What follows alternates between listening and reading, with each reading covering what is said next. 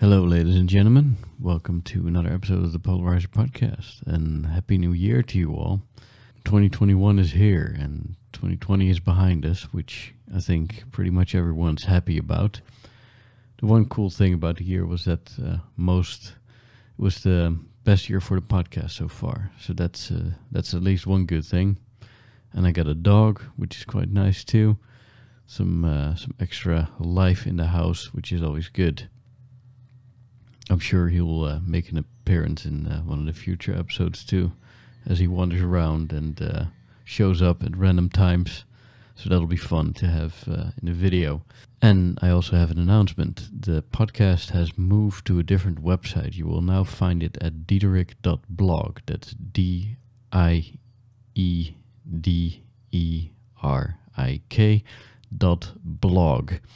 And I decided to do this because on my personal website, I have my photography and my writing and other projects I'm working on. And the Polarizer had its own website. Well, it makes more sense to pull them together into one place since I then only have one website to maintain instead of two. And there's there's a good crossover between the audience for my writing and photography and the podcast. So you'll find everything there. Everything's still the same and all the show notes are there and all the information. And of course, the podcast is still free to listen to on your favorite podcast platform and also on YouTube. I've been adding video to the podcast recently too, so you can check it out on YouTube. Link is also on diederik.blog for every episode. And when you're there, sign up for the newsletter so you never miss an episode. I'll send out an email every time a new episode drops. And now for the sponsors of the show. First one is Allert. Allert is an iPhone app that generates dynamic allergy cards for people who travel. There's not a whole lot of traveling going on right now, but once this COVID uh, shit is over, and I'm sure it will be over one day, hopefully this year, that would be nice, wouldn't it? Let's say you travel to a place where you don't speak the language and you are allergic to dairy or peanuts or, or any of the 14 most common ones you can use this app to generate a dynamic allergy card. So you first select what you're allergic to, then you can even also select a vegetarian diet if, if that's your lifestyle. And then you pick one of the 44 di- different languages that the app supports. And if you press the button, it generates a message in the language that you choose. It's very handy if you're allergic and you are in a country where people don't speak the language. So that's Allert, A L L E R T, on the iOS App Store. And this episode is also brought to you by Amazon. Go to diederik.blog and click on the Amazon button on the page, on the podcast page, and you will go to Amazon just like you always do. And if you place an order, I'll get a little kickback from that order, and it comes out of Amazon's end, so it doesn't cost you anything to visit the page through that link. What you can also do is uh, once you click that link and you're on Amazon, bookmark that page like that. And every time you visit Amazon through that bookmark in your browser, you apply the affiliate link from the podcast website. So that's a great way to help out. You just do your Amazon shopping like you always do, only I get a little kickback from Amazon for taking you there. Go to diederik.blog and click on the podcast link in the top menu to land on the podcast uh, page, and you'll find all the links there. My guest today is Francis Aaron, and he is a rapper from the UK who writes about philosophy, politics, history, and books. And he is no fan, in his own words, of woke drivel, anti scientific codswallop, and other crackpot moral fashions. And he takes an interesting and intellectual approach to taking this whole thing on. What's uh, what's going on now with the identity politics and the the whole woke happenings. That um, the whole woke thing that seems to be pretty big on the internet right now. So. I normally don't really get into politics because everyone else is talking about it all the time anyway. But when I heard his song Problematic, which is, as a description, a rap song about the Church of Woke, identity politics, and Generation Snowflake.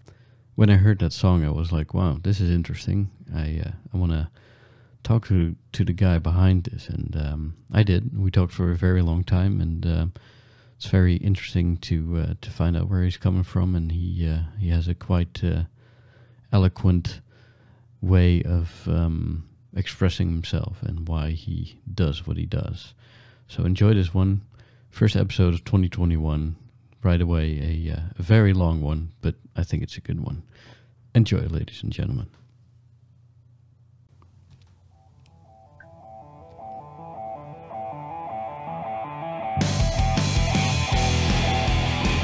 Yeah, welcome everybody to another episode of the Polarizer podcast. My guest today is Francis Aaron, and I heard a very interesting rap song the other day on the internet, and uh, that's how I uh, stumbled upon um, what he does. And I figured, well, let's send an email, let's talk to this guy. He's got a lot of interesting thoughts. So, um, welcome to the show, man. Thank you for having me. Yeah, t- tell me a little bit uh, Yeah. about yourself. There's a lot of books behind you, I see, and um, I, I want to get into your Yeah, song. I'm in my lounge at present. It's uh, yeah, uh, well, it's the cliched bookcase credibility thing that they have on on the news or whatever. Um, yeah, uh, I'm I'm a rapper uh, from the UK. I've been doing rap for years, uh, on and off a bit here and there over the years, and we just started releasing uh, a new bunch of songs. Me and a producer who I've worked with for for about like yeah seven eight years now. I've known him, so we've just released songs, and we're basically ta- tackling a lot of issues to do with uh, inverted commas the culture war um, and all the issues surrounding that. So that's the sort of 10, 10 song project where we've we just launched a couple of months ago. So we started with a song on um, transgenderism, uh, and then we've just done a song on uh, sort of the woke movement and everything to do with that, really. And their attempts to sort of I don't know like argument type songs to uh, um, either break down an issue or to um, describe what's what the phenomenon is or the phenomenon as I see it. So yeah, we, we, we're working on that present. Okay, and so you're gonna bring out a whole album of this, of, this, of ten songs.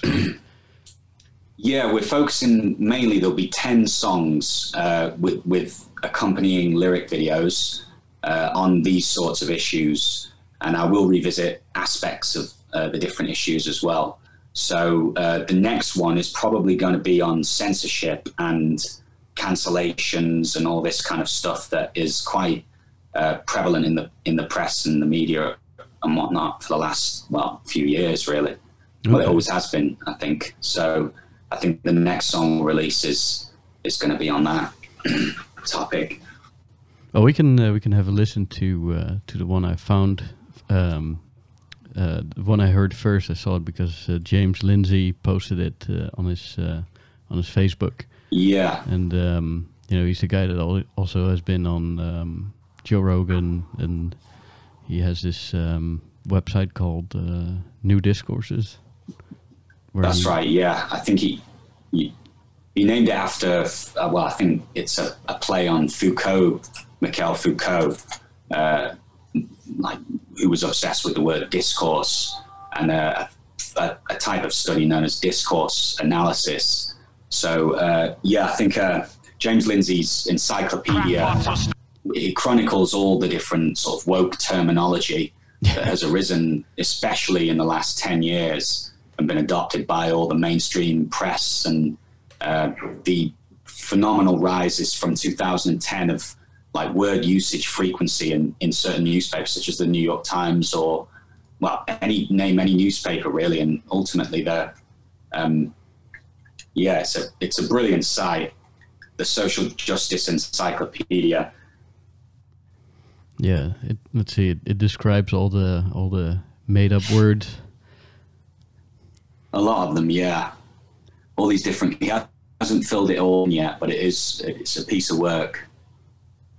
And James Lindsay is All these this- words we hear at present.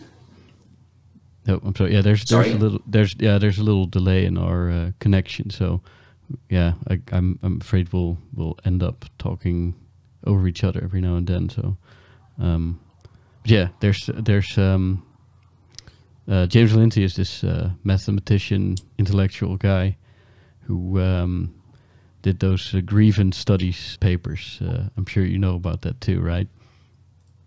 Yeah, he, he blew up, I think, with Helen Pluckrose and uh, is it uh, Boghossian, and they, they wrote a, a, set of papers uh, related to the critical social justice sort of fields, all these different um, fields of study that have arisen in the last, uh, like, well, 30 years, basically. Uh, and a lot of this stuff now has leaked out into the mainstream in quite a big way in the last 10 years. Since the financial crash, actually, I think was the sort of the trigger moment for it all, or as I see it. So, yeah, um, and a lot of it's it's like what's called the Woozle effect. I don't know if you've heard of the Woozle effect. No. It's uh, where someone produces an article or someone produces a paper, and then it gets cited by another person who uh, quotes or uses uh, the information in the original article, uh, and then someone else cites the next paper, and then someone else cites another paper after that. Before you know it, you've got a hundred citations citing this one uncorroborated source, this this initial paper which was false or contained information that was just yeah wrong in some way, right. and uh, it creates this sort of um, spiral effect basically, and we see it a lot with kind of. Uh, hate crime statistics, stuff like that. We see it in the press, and we see it like quite a lot with regards certain fields of study, which uh, they're just citing each other most of the time. Well, what's an example of hate crime statistics? Uh, for instance, like the the like we, we hear from certain figures that hate crimes towards uh, transgender people have quadrupled in the last uh, five years um, they'll they'll be taking statistics from Stonewall, who will have taken a statistic from one study which uh, had a sample base of maybe 30 people here or there, and then it'll be it'll create this sort of circle effect, and then they'll just this will go out on Twitter. Someone will tweet about it. Some it'll get like thousands and thousands of retweets. Before you know it, you everyone's believing that there's this incredible wave of hate crime that's suddenly risen.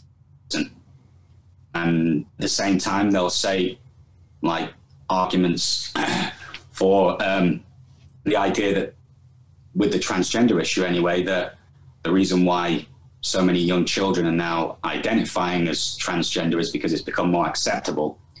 And so um, these two points clash, create a, a sort of um, like yeah dissonance in a sense. Hmm. Okay.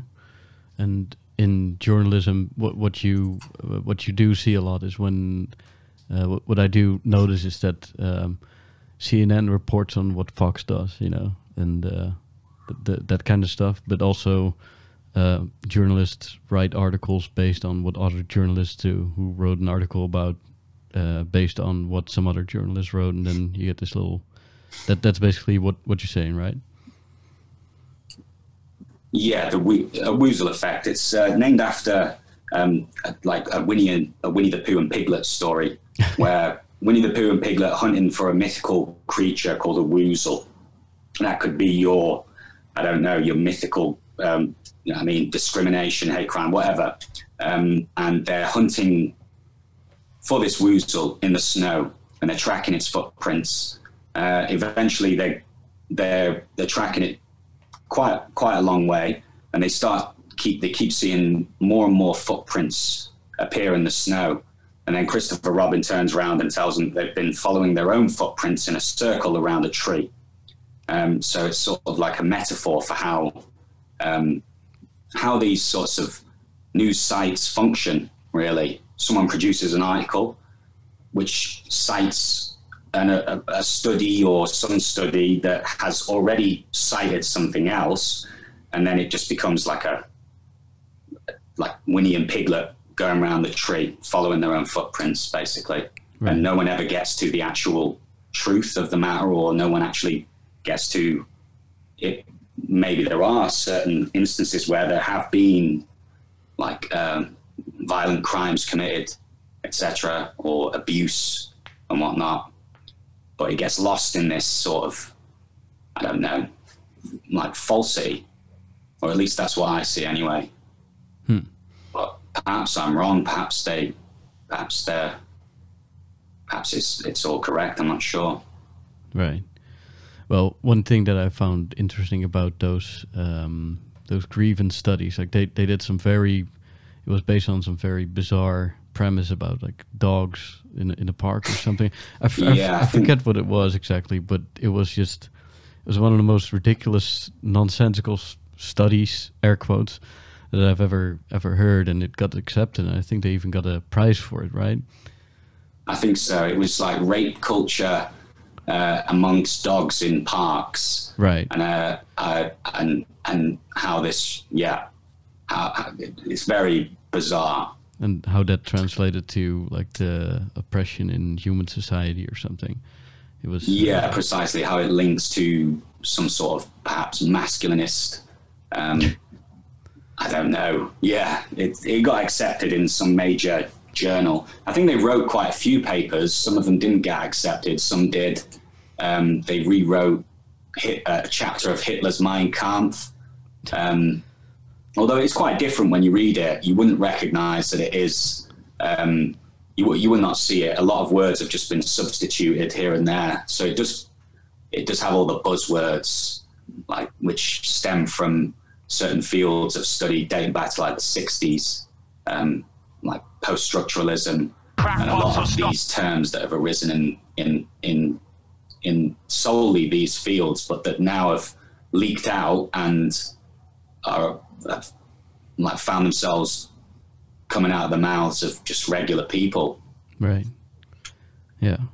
All right. Well, um, you want to listen to uh, to your song and comment on it and Yeah, yeah. take it apart a little bit. Crackpot, so stop at nothing, so of course I'm gonna catch a ton of flack. Look, that man is not a bat, he is a man dressed as a bat. Back before cancel culture and the Twitter pylon, the campus cults were a ticking time bomb. And a storm had been built for history's most fortunate children. They knew no pain, no threat, no trouble. No strain, no sense of struggle. Into an age of bias and barbarism came a generation raised on a diet of narcissism. Tossed into the furnace of the abyss, they found themselves purposeless and adrift. Lost in a hopeless exhaustion. Awash in an ocean of boredom. Drenched in resentment and pregnant with envy, depressed and condemned to be empty. They had no goal, no elixir or nostrum, nothing to overcome. This was their problem. They sought to be seen as heroic, that their lives might one day be deemed a theme for a poet. What they needed was a target, a purpose, an idea that could harvest the urges. They rake the dirt, they dug manure. To slake this thirst was such a chore. If they could do nothing but clutch at straws, they would have to create things to suffer for. Perhaps to some it might seem puzzling. But human beings need suffering. If there were no enemy to contend with, then it would be necessary to invent it. So problematic, oh, deeply problematic. It's so problematic, deeply problematic. It's so problematic, oh, deeply problematic. It's so problematic, deeply problematic. They began to awake goblins. To give their lives meaning, they had to create problems. To acquire purpose and crack this puzzle, they had to concoct fantastic struggles. Monsters they would be destined to conquer. From this came a collection of dogma, a body of fiction that they piled in stacks. A cluster of fables disguised as facts, and they pondered the doctrine rigorously. A church house of mad apparatchiks, concoctions of cosmic idiocy, churned out by quacks and fanatics. From every orifice, the stench was smelt. Deep into the subterranean depths they delved when a trend then made its presence felt. A pathological obsession with mental health, the wretched specter of oppression, the restless fetish of progression. This infection was spreading like leprosy. The mystical gibberish of gender identity. A woman trapped in a cryptic weariness, the phantom of lived experience. The shibboleth of intersectionality, a willingness to disrespect reality. The block-headed gender fallacy, the obsession with sexuality, the extreme fixation on race. These themes dictated the faith. It's so problematic, deeply problematic. It's so problematic. Deeply problematic. It's so problematic. Deeply problematic. It's so problematic. Deeply problematic. At last, a creed of grievance was built, and its task was to breed the feeling of guilt to secure power, to make them feel filthy. The innocent must be made to feel guilty, to sing a political hymn to bitterness. Repent for the original sin of privilege, enthralled by the gospel's passion. This command was installed as a moral fashion, and as these flagellants ravaged their health, the priesthood began to anchor itself. A clergy of guilt tripping chaplains and a neurotic flock of guilt stricken A rabble of activism would lay before a catechism that cast suspicion on nature, and it had them thinking it would bring the hour in which this masochism would give them power. The masses were tongue tied now by a vulpine vow to turn the world upside down, to dictate the terms that they shall use through a great inversion of values. A sickly cult with a worldview in which victimhood became virtue. Strength and integrity were made odious. Madness now became holiness. Obesity became body positivity. That speech would be restrained was a probability as they masked their bigotry and weak logic. Masculinity was deemed toxic. The meaning of man and woman had to be blurred, and a guaranteed herd would hang on each word. They mapped the battleground with such cunning. In their world, man could now become woman. And under the improbable belief he would flourish, this impossibility was even encouraged. A strange circus did invoke now the deranged worship of the pronoun. To tame the uncouth and to mold its conduct, they claimed that truth was a social construct. These structures would be combusted, everything had to be deconstructed. Eager to be judged, the disciple. Some anemic sheep were sucked in its spiral who felt their slumbers had endangered them. Knowledge of these structures had awakened them, so they styled themselves as woke. Now the fires of hell have been stoked. Draped cassocks, costumes, and disguises, they would soon conclude they were righteous. Clothed and buttressed and soaked with smugness. These wokish junters had grown in clusters. Cloaked in the robes of social justice, their goal was to explode the structures. They appeared from a trapdoor, hissing and frothing. Doridian hacksaws swinging and chopping. Everything was absorbed into the doctrine. Everything was transformed into a problem. Everything had to be problematized, and the mollycoddle colleges swallowed the lies. They gobbled the dogma of the problem addicts, and everything was thus rendered problematic. It's so problematic, oh, deeply problematic. It's so problematic, deeply problematic, problematic, oh, deeply problematic. Well, that's uh, when, I heard that song uh, for the first time, I was like, okay, I haven't uh, haven't heard this kind of stuff before, or actually, that's not really true. The first time I heard this kind of new brand of sort of intellectual rap, if you will, was when uh, when I uh, heard about Zuby for the first time, and um, you you know him too, probably, right? Yeah, you've you've had Zuby on, uh, I think, a couple of times, haven't you, on the podcast? Yeah. Uh, I was having a look. I did. Uh, I did message him as well with the song. Uh, he checked it out and then left a comment, so he quite liked it as well. I think. Cool. Yeah. No, he's he's he's, he's a good guy. I think Zuby, isn't he? Yeah, he's he's, he's yeah. I mean, he uh, he's quite an interesting guy, man. He uh, he built his own success in a spectacular way uh, in a Yeah. in the last. Um, well, he's been working at it for quite some time. I think he's been doing songs and music and whatnot for well years, hasn't he? He, he? I remember hearing him talking about when he was at Oxford, he was doing music back then as well. Yeah. So, and I think he's gone and done, gone off and done uh, other things as well. But yeah, um, yeah, no, the song is uh, it's my it's my it's sort of a lot of like songs that I write are basically catharsis for myself. Really, ultimately, I want to kind of get all this stuff out of my own sort of head and put it in some sort of artistic form. So the song is basically yeah, a rant uh, about um, what's happened. I think in the last ten years and how, in my view, uh, a lot of the the left. Um, of which I used to like, I still, I'm quite left wing on some issues. Um, I think the left has been usurped by um, post structuralism, which uh, is like goes back to sort of like Foucault and Derrida, although they perhaps would, might not have called themselves uh, post structuralists. What is Um, post structuralist? Uh, post structuralism So exactly. Uh, uh, well, you, you have to go back to like a school of linguistics called structuralism, um, which uh, initially suggested that I'm very I'm very much simplifying here, but it suggested that language is structured through uh, binary oppositions. So things like uh, left, right, up, down, backwards, forwards, man and woman, and uh, in like across the breadth of language, these structures uh, like largely work through binaries. Um, Post structuralism was sort of the attempt to demonstrate, as, as I understand it, to um, to deconstruct um, these binaries. That is to say, to unfix them to show that they are unstable or not as solid as we like to think they are. Um, so it was Derrida was the, the, the, one who sort of led the charge on this, um, and he followed Nietzsche in many regards. It, like the deconstruction project was largely, I think, an attempt to look at language and show that a lot of um, language has its roots in uh, things that have uh, have no relation to the real world in some ways. That, for I, I give an example, up and down can be relative to wherever you are positioned at any one time. Right now, someone might be in the flat above me, up, um, and someone in the flat below me, down.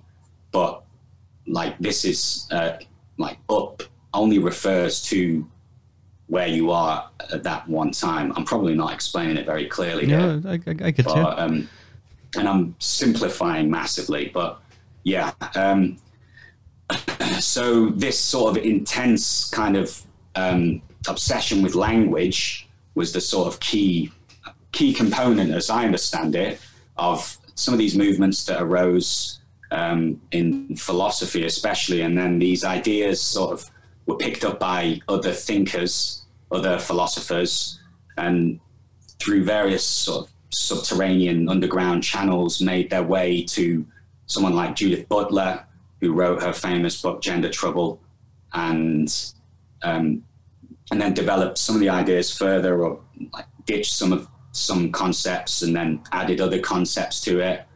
Um, and before you know it, it's sort of by 2010, I think it a lot of it starts to gain mainstream credence and gain mainstream credibility, but in a sort of watered down form, the form that I think James Lindsay uh, is talking about um, with his with his website and whatnot.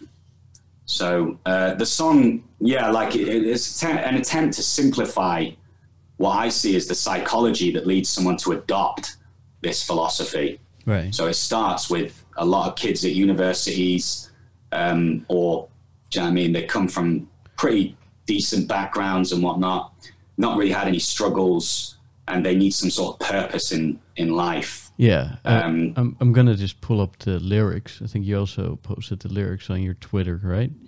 Yeah. Let's see what um what would be the best way to go through it? Shall we just go through the lyrics or go through that Twitter thread that you posted? What do you think uh, is better? Uh, go through the lyrics if you want. Yeah, I've, I've got a lot of thoughts and on parts of it. All right. All right. Uh, let's see. I'll share my screen with you so you can see what I'm looking at too. There we go. Yeah. All right. So it starts off, yeah, just a general, back before cancel culture and the Twitter pylon, the campus cults were a ticking time bomb, uh, and a storm had been building for history's most fortunate children. So, like a lot of like the massive e- expansion of university um, university attendance that we've seen in the last 20 years, especially, um, it's I think in the UK anyway, like there was a huge drive to get more and more people into universities. Um, and someone posted a Twitter a tweet that went viral actually um, a couple of days ago, um, saying there are millions of kids in universities who shouldn't be there, studying courses that shouldn't exist, and uh, imbibing theories that are wrong. And I think, or I think that's kind of true, really. This Yeah, tweet agree. went ultra sort of viral. Who- posted? Um, a guy called just there's a guy on Twitter called Russian Peasant is his sort of name. I think he's anonymous. I don't know who he is, okay. but yeah. So this tweet, I think it just encapsulated that little lyric there. Really, his the storm had been building for history's most fortunate children. a lot of this verse is referencing a sort of Nietzsche's philosophy. Um, I, I, I don't know. Are you familiar with Nietzsche much, or Not much. Um, but I think it takes years to to be, you know. Yeah? So Nietzsche wrote a book called The Genealogy of Morals. That's the one. That's it, yeah. There are millions of people attending university who do not belong there, enrolled in programs that should not exist in order to study theories that are wrong. And I think uh, it sparked a huge sort of debate and whatnot. But I think the fact that it went viral is sort of testament to the to its truth to some degree. Yeah. Um, so it's sort of what I'm referencing throughout this verse as well. And then a lot of these ideas that are false or that are not really grounded in any like fact checking um, are being adopted en masse. So yeah. Um, but yeah, this verse references a lot of sort of uh, Nietzsche's philosophy and that I think human beings need some sort of purpose, some sort of meaning in their life, whatever it may be, and often it depends on the ideas that are lying around at the at the time. So people adopt all sorts of um, like yeah belief systems Right. in that regard. So they knew no pain, no threat, no trouble, no strain, no sense of struggle. And into an age of bias and barbarism came a generation raised on a diet of narcissism. And in So- age of, of bias and barbarism, what what does that refer to? Uh, I'm, I'm, I'm kind of talking about the 2000s a bit there, I think. Um, so 9 11 sparks off this sort of uh, political crisis in America, which then leads to the wars in the Middle East, and, and then the financial crash hits um, in like a spectacular fashion, basically.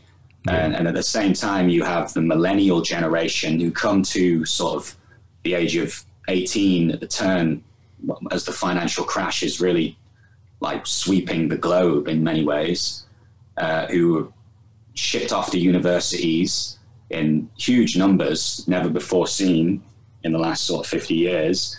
And a lot of the ideas and stuff like is kind of leftist in many regards. And I consider myself as having sort of imbibed some of it at the time. Um, although I only went to university for a short time uh, and then went traveling. What, what did you study? But uh, uh, I went. I wanted to be an actor back in the day um, and do that kind of stuff. But I quickly got. I went down to university in London and then sort of realised it wasn't for me, and I need to sort of go away, figure out what I wanted to do and stuff. what made you uh, dislike it? I think it was uh, a lot of. I, I've never really fit in uh, in these sorts of environments. Sometimes I'm quite like I've got like a small friendship circle that I get on well with, and we're all sort of on the same wavelength with regards, like basically just, just wanting to pursue art or music or creative stuff. So university, it seemed to me like a glorified piss up at the time, um, and I didn't drink, so. Um, yeah, I, I decided to kind of ditch it and go traveling. Fair and then went to Europe and then all around, went like Russia, um, America, traveled all over really. That sounds So- super fascinating. I wanna I wanna talk about your travels later because that's uh, my one of my favorite things to talk about. So um, Yeah. yeah. Let, let's let's um, let's talk about that a little bit later. Um, so we got um, no pain, no threat, no trouble, no strain, no sense of struggle, and blah, blah. tossed in the furnace of the abyss, they found themselves purposeless and adrift, Lost in the Hopeless. Yeah, I mean, it it's kind of the. Um, I, can I can kind of see what you're saying there. It's sort. It's it, when I was writing it, it was sort of trying to reference Nietzsche's. Uh, Nietzsche talked a lot about what was what he called nihilism. Um, Yes. people think that Nietzsche was a nihilist. He wasn't. He was he was opposed to nihilism. He, he saw it as like a, uh, a like a a trend, a phenomenon that had sort of risen in the late 19th century when he was writing, um, and it had risen massively. There were a lot of uh, in the 1890s across Europe. There were a lot of um, like anarchist killings, bomb like people throwing bombs in cafes and blowing people up and stuff. And uh, many of these people identified themselves as nihilists. There was a nihilist movement in Russia at, at the time as well, which uh, basically people trying to tear down the states at the time, sort of similar sort of things we see now and again arise throughout history but this was quite a, a, big wave sweeping it. The American president, I think in 1900, got assassinated by one of them as well. Um, hmm. So this was a big issue at the time. Uh, nihilism comes from the Latin uh, nihil, which means nothing in, in Latin. And we, we, we find it in the word, for instance, annihilate, which means to bring something to nothing. All right. So yeah. nihilism was this philosophy or psychology more so than anything where there is no value, there's no meaning to life, everything is purposeless. We're adrift in this. We're, we're like we live in like a state of cosmic pointlessness, and we either create meaning, which Nietzsche said we ought to do, and we create meaning through art, through um, through pursuing some sort of project, some sort of goal, or we or we allow the pointlessness and valuelessness of life to either destroy us through suicide or through, I don't know, intoxication, the degradation of the body, whatever, um, or we actively adopt a philosophy that seeks to destroy. And so many of the nihilists at the time chose the latter and went on like killing sprees or bomb throwing sprees we see the same phenomenon, I think, today quite a lot across all the political spheres. Yeah, we see it on the left a bit, people wanting to destroy uh, structures that they deem racist, sexist, classist, misogynistic, etc., etc. We see it on the right with people embracing nihilism and going on these shooting sprees, um, and we see it amongst sort of uh, the Islamist types as well uh, with the terror attacks and whatnot. So similar things were happening in the late 19th century across Europe and especially in Russia. Interesting. And um, Dostoevsky as well talked quite a lot about it. A few of his books were geared around that concept of like meaninglessness. And what what you said there about meaninglessness, you also see it in entertainment coming out of the current culture, like shows like Rick and Morty, you know, that's super popular, and that's you know, it's it's just nihilism basically, making it look cool, I guess. I haven't seen Rick and Morty. People keep telling me to watch it, um, but yeah, I mean, it's a lot of it's prevalent. I, I don't think I think it's a sort of element of the human condition. People question their own beliefs and whether they're correct and whatnot religion once provided uh, like a, a unifying sort of story, which many people rallied around. Uh, this has been talked about a lot. I think Nietzsche was the sort of first to kind of really address it full on, head on, and, and he proclaimed the, the, the death of God, the idea that people are losing faith and um, this will have consequences. People will try to keep the religious codes and the religious morality, um, but without this belief in God, which once unified everyone around an idol, um, this will cause issues and, and problems and like um, rumblings in the stomach, as right. Nietzsche called it. So, um, which is, I, I guess, what we saw in the 20th century, really, with the attempt to create brand new social contracts, brand new societies, new men in the form of like fascism, communism, all this sort of like movements that vied for power during the 20th century. New, new man. So- what, what what do you mean with, with that? Uh, that's while the fascists, the Italian fascists, wanted to create a new breed of man. That was their sort of object. Um, they wanted they they the fascists began straight after the First World War, and um, when all the veterans, the Italian veterans who came home from the war, um, they felt that they were um, like a, a they, they felt that they'd been changed by the war and that Italy needed to be rejuvenated or changed completely. They felt that they were the new men. These, and that's why you have people like Marinetti uh, and the futurists who talked about all this kind of stuff. Um, and Mussolini was um, very much uh, like he called the veterans of the war the Trincerocrazia, which is like the aristocracy of the trenches. Um, these people who would rise up and rule the new Italy. And obviously, it created sort of, well, horrors.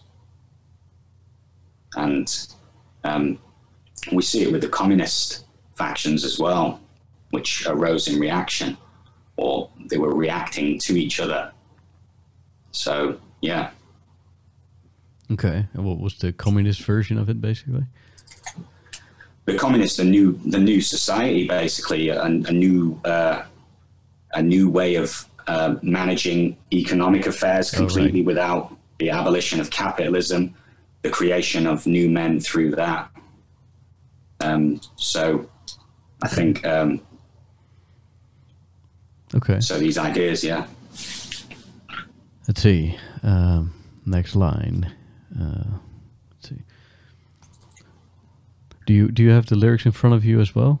Um, Uh, yeah, I, I just, um, because then I won't have to Yeah. like do the screen share thing back and forth. yeah, yeah, I've got the lyrics. Cool. Uh, let's see. Nothing to overcome. This was a problem. They thought they sought to be seen as heroic, that their lives might one day be deemed as a theme for a poet. I'm not a good rapper. what they needed was a target, a purpose, an idea that could harvest the urges. Okay. Yeah. So, um, or you know what? Maybe maybe you just yeah, so- just read through it and and you know ex- explain what you're what you're saying. You know, because maybe I'll I'll stop and start too soon or too late. You know. Yeah, I'm talking about they sought to be seen as heroic. I'm talking about this sort of hero syndrome. People people want to see themselves as in a good light and want to be able to view themselves well. Uh, and people adopt ideologies or people adopt uh, certain movements. They give to charity or they they uh, they adopt some form of activity which makes them feel better about themselves or makes them feel like they're contributing towards society in some fashion. So, um, if people can be challenging all the evils of the world, racism, sexism, etc., then it gives them some sort of purpose. What they needed was a target, a purpose, um, and like you can, can keep you can keep expanding the definition of what constitutes um, these sorts of things and forever be chasing like the ideal, the ideal society or the ideal, um, like a world without any bad things and whatnot. Like so I'm sort of referencing all that. Pretty much, yeah. But it's like what Oscar Wilde said: as soon as you you set out to sail for utopia, you land the island of utopia, and then you look out at the horizon and see that there's another utopia in the distance.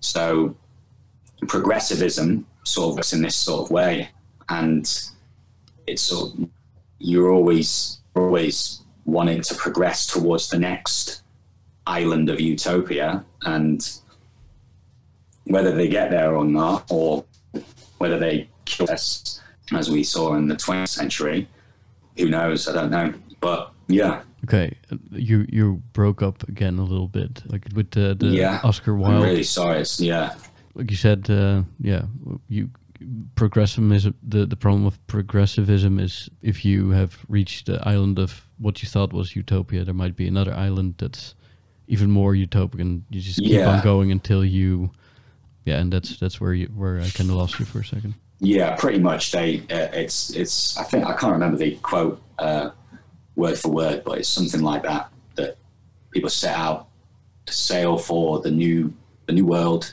find it, and then they spot a new world, and it, it the process goes on and on. Right, and But human beings don't really change that much, or I don't know. Maybe they do. Okay. Let's see. Next line. An idea that could harvest the urges. They raked the dirt and dug manure to slake the thirst was such a chore. If they could do nothing but clutch at straws, they would have to create things to suffer for. Yeah, that's a uh, that's a, a Nietzsche talks about at the end of his uh, one of his famous books, The Genealogy of Morals. He talks about how he believed that human beings created religion or created God, um, and they, um, in order to basically not die from the meaninglessness all around them, they found themselves like awash in this ocean of uh, like yeah valuelessness. And they they had no way of understanding why they suffer.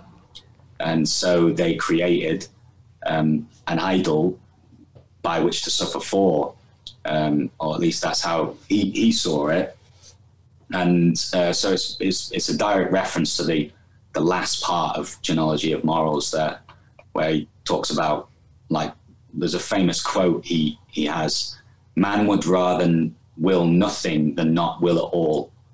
So that what that means is that people would rather embrace like an ideology of nihilism uh, than uh, like literally absolutely nothing people Right. would rather so and, and then actively go out of their way to destroy you and whatnot um, Well, it, it's what what you see on um, on the news during during these uh, riots and protests and with the whole climate thing, you know, and Trump and anti-Trump.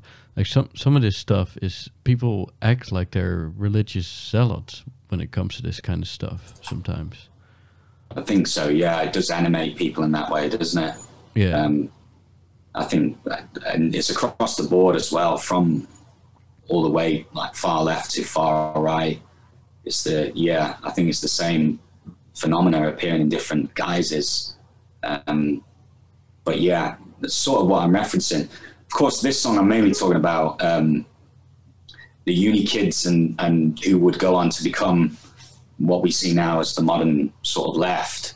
Right. Um, I do, I did, I do have a sort of the workings of a follow-up song, looking at like the the opposite side of people embracing, rather than having to create things to suffer for, they reject creation altogether and just seek to destroy. And so that's where I think you see a lot of these uh, young men who, uh, like, uh, sometimes termed as incels and stuff, and they they they're sort of in despair, nihilistic and whatnot.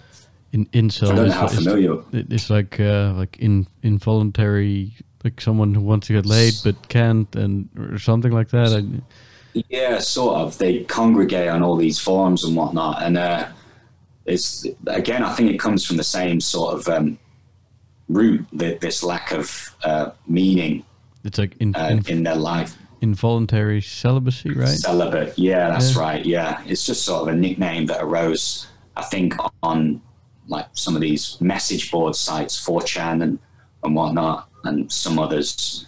Um, like they saw themselves as what they called NEETs, uh, N-E-E-T, um, which I think not in employment, uh, not in education or work. I can't remember what it actually stands for, but yeah, you see you see the same phenomena on the left and on the right. I think um, the conclusions are just different in many ways.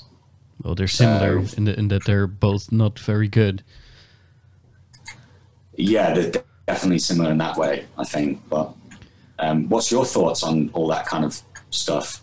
every now and then I I do see stuff, you know. So every now and then I see just interviews with people, and, and I'm like, well, wh- what kind of what kind of planet do you live on? You know, like th- this. It's. I get a feeling you got these little bubbles of people who have a completely different warped view of reality you know and, and they they both live in this same same place but they they look at the world in completely different ways and i don't know man it's um i remember I think when the internet has sped that process up as well. Yeah, it's Yeah, sort yeah. of created all these. some of the stuff i see come come by on on facebook and especially twitter you know there's there's some just like what what are you saying you know it, it's I, I don't have a good concrete Yeah. example right now but some of the stuff that that people actually really believe i'm like do you really believe that because what you're saying there is absolutely insane it's uh Yeah, I think there's there's a lot of that stuff really now. I think the internet has uh, massively accelerated the development of all these little online ecosystems, which are uh, in their own little worlds, basically. Whether it be on the left, like Tumblr types, or 4chan types on the right, um, and a lot of these different ecosystems on Twitter, or social media, or in their own sort of blogging platforms and like spaces. Although I hate that word, um, they develop and they develop their own like code, Yeah. almost their own sort of ideology, and, and anyone outside sees glimpses of it, or often through very partisan lenses. They don't. Uh, so when these things bubble up to the mainstream or leak into the mainstream in various ways, it's quite uh, daunting to anyone who's not like doesn't know about that particular little online ecosystem. Right. I think this is where a lot of the shock towards Trump, uh, the rise of Trump, and and the rise of populism, especially, is over the last five years. So yeah, right did you grow up in uh, Rotterdam, yeah where you are? well Yeah, I, I okay, grew cool. up in a town next to rotterdam so yeah. Right. The- Okay. Cool. I've never been. it's a cool city man I, I would love to go. yeah once this uh, will. covid stuff is over man Yeah. How have you How have you been throughout this? Um, oh, working from home, you know. Um, yeah, it's. Uh, I'd I'd much rather uh, not have to deal with it, but uh, eh, you know, whatever. I mostly feel really bad for people who have bars and restaurants. They've been closed for a long time. Um, Yeah, I think uh, a lot of businesses have been struck round near where I live, especially. Um, I see a lot of places closing down. though some some new things opening up. Um, not really sure, to be fair. yeah, We've just used the time to really work on music and do other stuff as well. So yeah. I've I've, Yeah. I've kind of been the same. Like I've been working on my creative endeavors as well in this. Yeah. uh, you do a lot of photography, don't you? yeah. Is yeah, that your I do. is that your main sort of uh, source of income? Uh, no, I want it to be one day, but um, but I'm not quite there yet. Yeah, same. It's a bit of a build up, isn't it? You have to build a body of work. Yeah, Um, yeah. and I'm still also figuring out how to present it and how to monetize it. Like I'm, I'm currently working towards um, selling high quality art prints. So just big prints in, in really beautiful paper, and um, you know, just Yeah. small quantity, high quality, basically. And uh, but I'm working on setting that up. It's uh, yeah, there's- a lot to consider as well. We considered like t-shirts and merchandise and everything else and stuff like that. Or Um, I'm not sure if my kind of work lends itself for that. You know, it's mostly just landscapes and, uh, right, and that kind of stuff. So, yeah, what was the demilitarized uh, zone at the North Korean border like? Yeah, I I'm interested in that a lot. I can uh, look up. Uh, I can show those pictures too while we talk about it. Yeah, it was that was very intense, man. I've um, I've been to um, Korea a couple. Uh, let's see, I'll, share my screen with you. Show my website. Let's turn this interview around a little bit. um, I went to Asia in 2016, and one of the places I went was also uh, South Korea and of course North Korea. There's I still have a lot of pictures that I want to put up here, but you know, life gets in the way of that kind of stuff sometimes. Mm. Yeah, this it basically started with a bus tour. You uh, drive through this wasteland, this frozen wasteland. It was super cold. It was like minus, it was like minus twenty three degrees Celsius. You know, it was it was so cold that it would just hurt your face. And, um, you know, you drive drive across this frozen wasteland that looks like unlike anything I've ever seen. And then you get close to the border and you see these signs that says, "Well, this is a mine. Uh, there's mines here. This this area is an undocumented mine detached region where a person could get killed instantly." So basically, you see these these little signs with mines, and you know, once you cross this border, there's uh, you're going to step on a mine eventually. And um, then you get to this visitor center where this monument is of um, you know people pushing a uh, broken world together, and this was built around a um, the third tunnel. It's called, but they uh, the North Koreans had dug a tunnel towards South Korea that they discovered, and then they plugged it up. They discovered it, then they basically put a minefield in that tunnel. So they put up a concrete wall with a little peek hole in it to to just first block off the tunnel, and then they created an area of like 10 meters in the rest of the tunnel that they just filled up with mines, and then they built another wall with another peek hole. So and that's how they closed the tunnel basically, and um, they built a visitor center there where you can learn about what happened there and. Uh, Were you traveling on your own, or um, well, I can see that you're with people, but on your own in the sense of you weren't with anyone who, who you know. Well, when when I was there, my then girlfriend, now wife, worked there as a English teacher. She's from the United States, Right. and um, uh, we uh, yeah. So that was that was a good reason for me to stop by South Korea first because she was there, and um, it was actually her idea to go here. Yeah, I guess we really found each other when it comes to this adventurous traveling stuff. Um, yeah, Looks immense. Yeah, I would love to. Yeah, and then the the next uh, next stop was Dorasan Station, which is like the train station that would connect North Korea with South Korea, and you see you see the sign that says to Pyongyang, which is the capital of Mm. North Korea. So the South Korean side of that station is built, and the tracks stop at the at the North Korean border, and they basically say, "Well, we got our part of the infrastructure ready, so." if you guys just connect your reel to it when when the time is there, all you have to do is open it up. And this this was the you know the the general area. This wa- was the would be security area, but that's not being used right now, obviously. And um, this was the platform, and there's this soldier standing there to make sure that no one walks towards North Korea there and uh, Mm. you know his job is just to stand there. And from what from what I understood is that um, Is he North Korean or South Korean? South Korea. This this was like South Korean. yeah, this is all on the South Korean side, Right. and the guys who who stand guard in this area are like the the elite soldiers of South Korea. So they're you know they're, Right. they're actually pretty big dudes. Like the average, I'm I'm pretty tall, you know, being being a Dutchman and all, and I pretty much tower over everybody there. But the dudes, uh, soldiers standing at the border, those were big dudes, man. They were uh, bigger than I was. yeah, and then then we um, we got to like the final part, which is this United States base, and that's where uh, no South Koreans were allowed further because apparently there's some kind of law that if you're a South Korean citizen, you're not allowed to get really close to the to the North Korean border. So that's where our tour guide stayed behind and hung back, and we got this uh, security briefing in this building.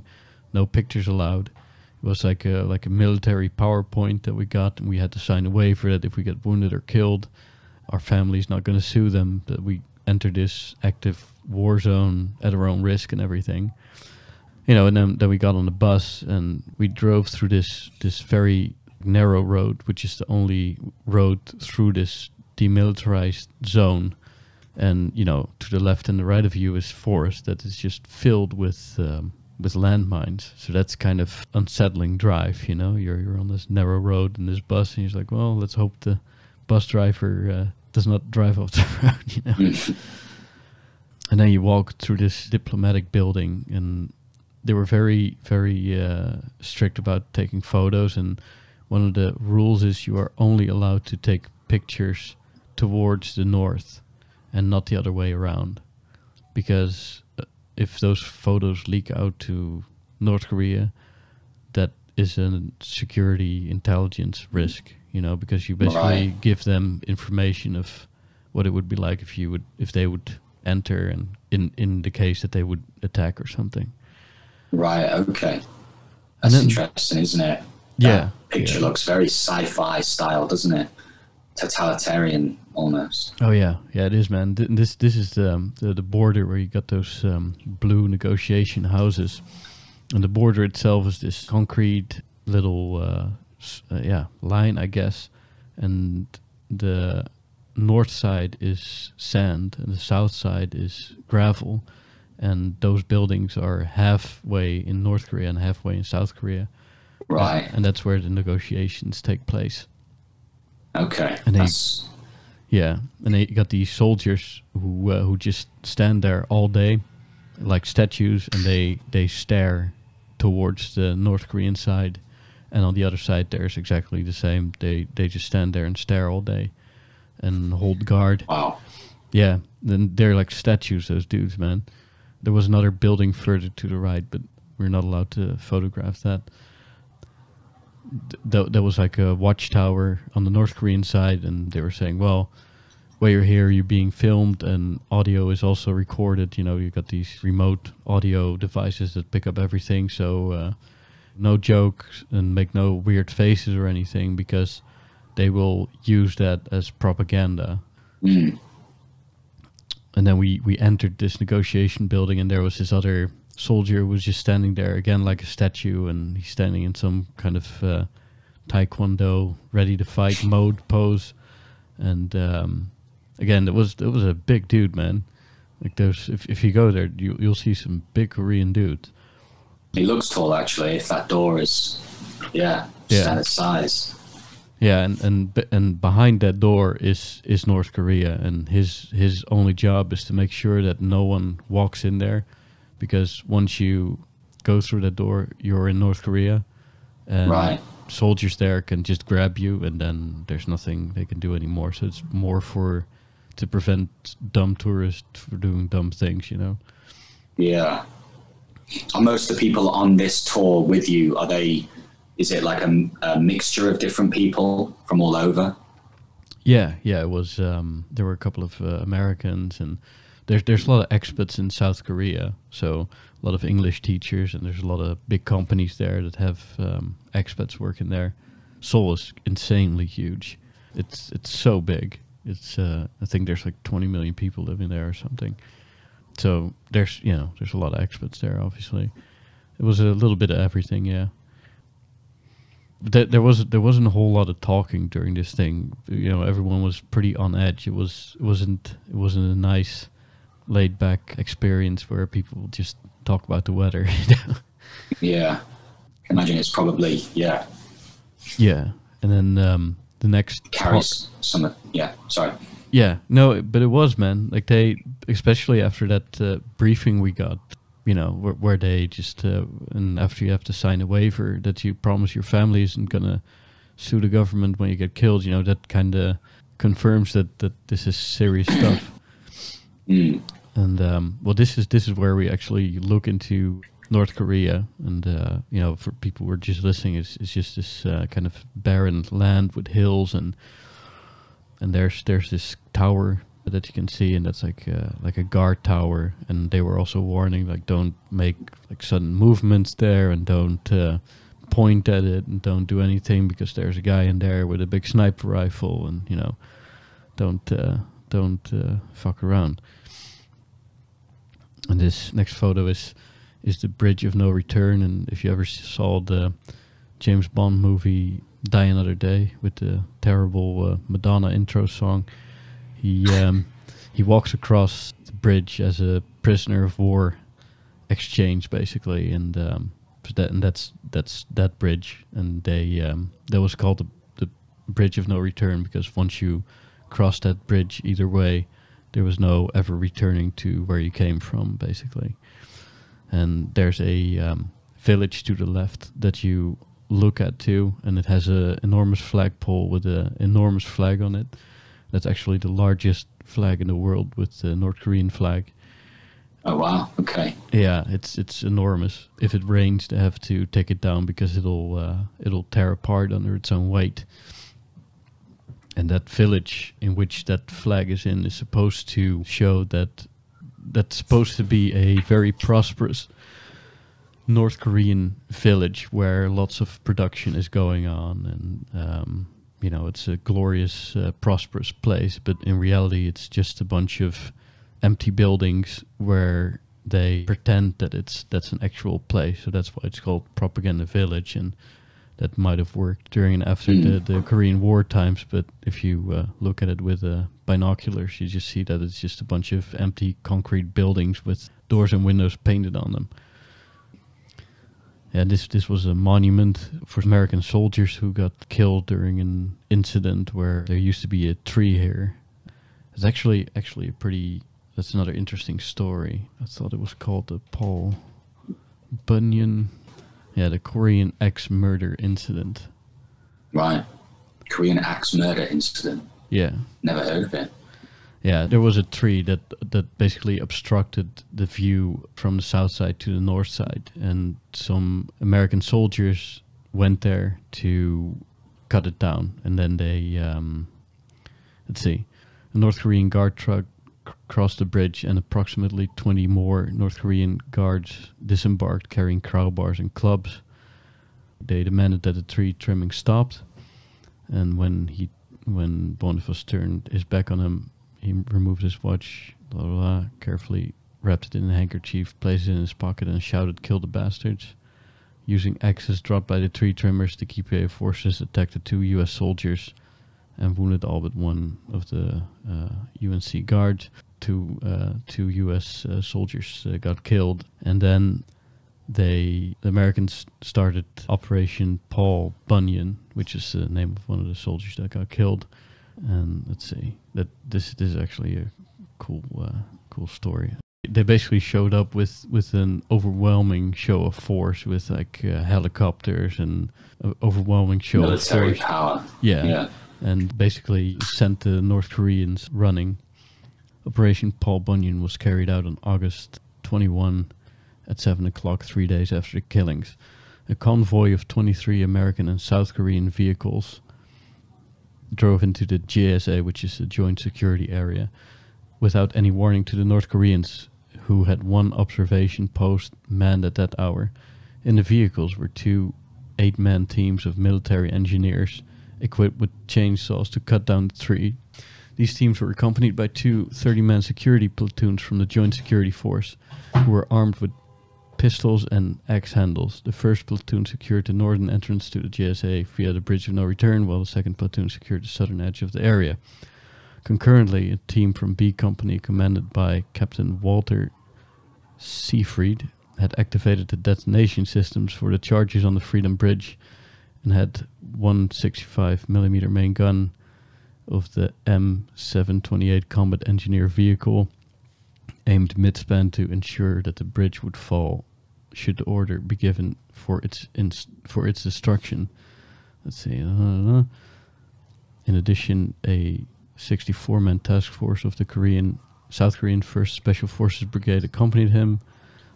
Uh, let's see, and then, but let's see. The cool part of the story is a U.S. infantry company and 20 utility helicopters and seven Cobra attack hel- helicopters circled behind them.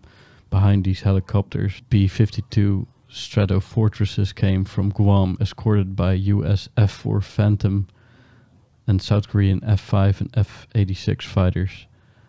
Uh, you know, so they showed up with bombers and, and jets and helicopters, and you know, just just an What year is this? Is 1976? Is it? yeah, yeah, Or yeah. Okay. yeah. Operation Paul Bunyan. Bunyan.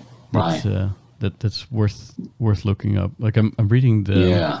the the Wikipedia um, entry, but there was another there was another um, website that was written by I think either it was either an historian or someone who was actually there, Right. Uh, Okay. and it was it was very well written. I'll I'll be sure to uh, to look that up and send that to you.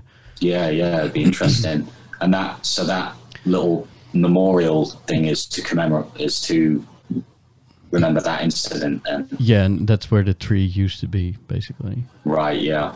And here we see the bridge of no Okay. return, and um, you know that that was it. Like I, I would have loved to taken more Yeah. photos, but yeah, they didn't really allow that. A limit on Yeah. Right. Okay.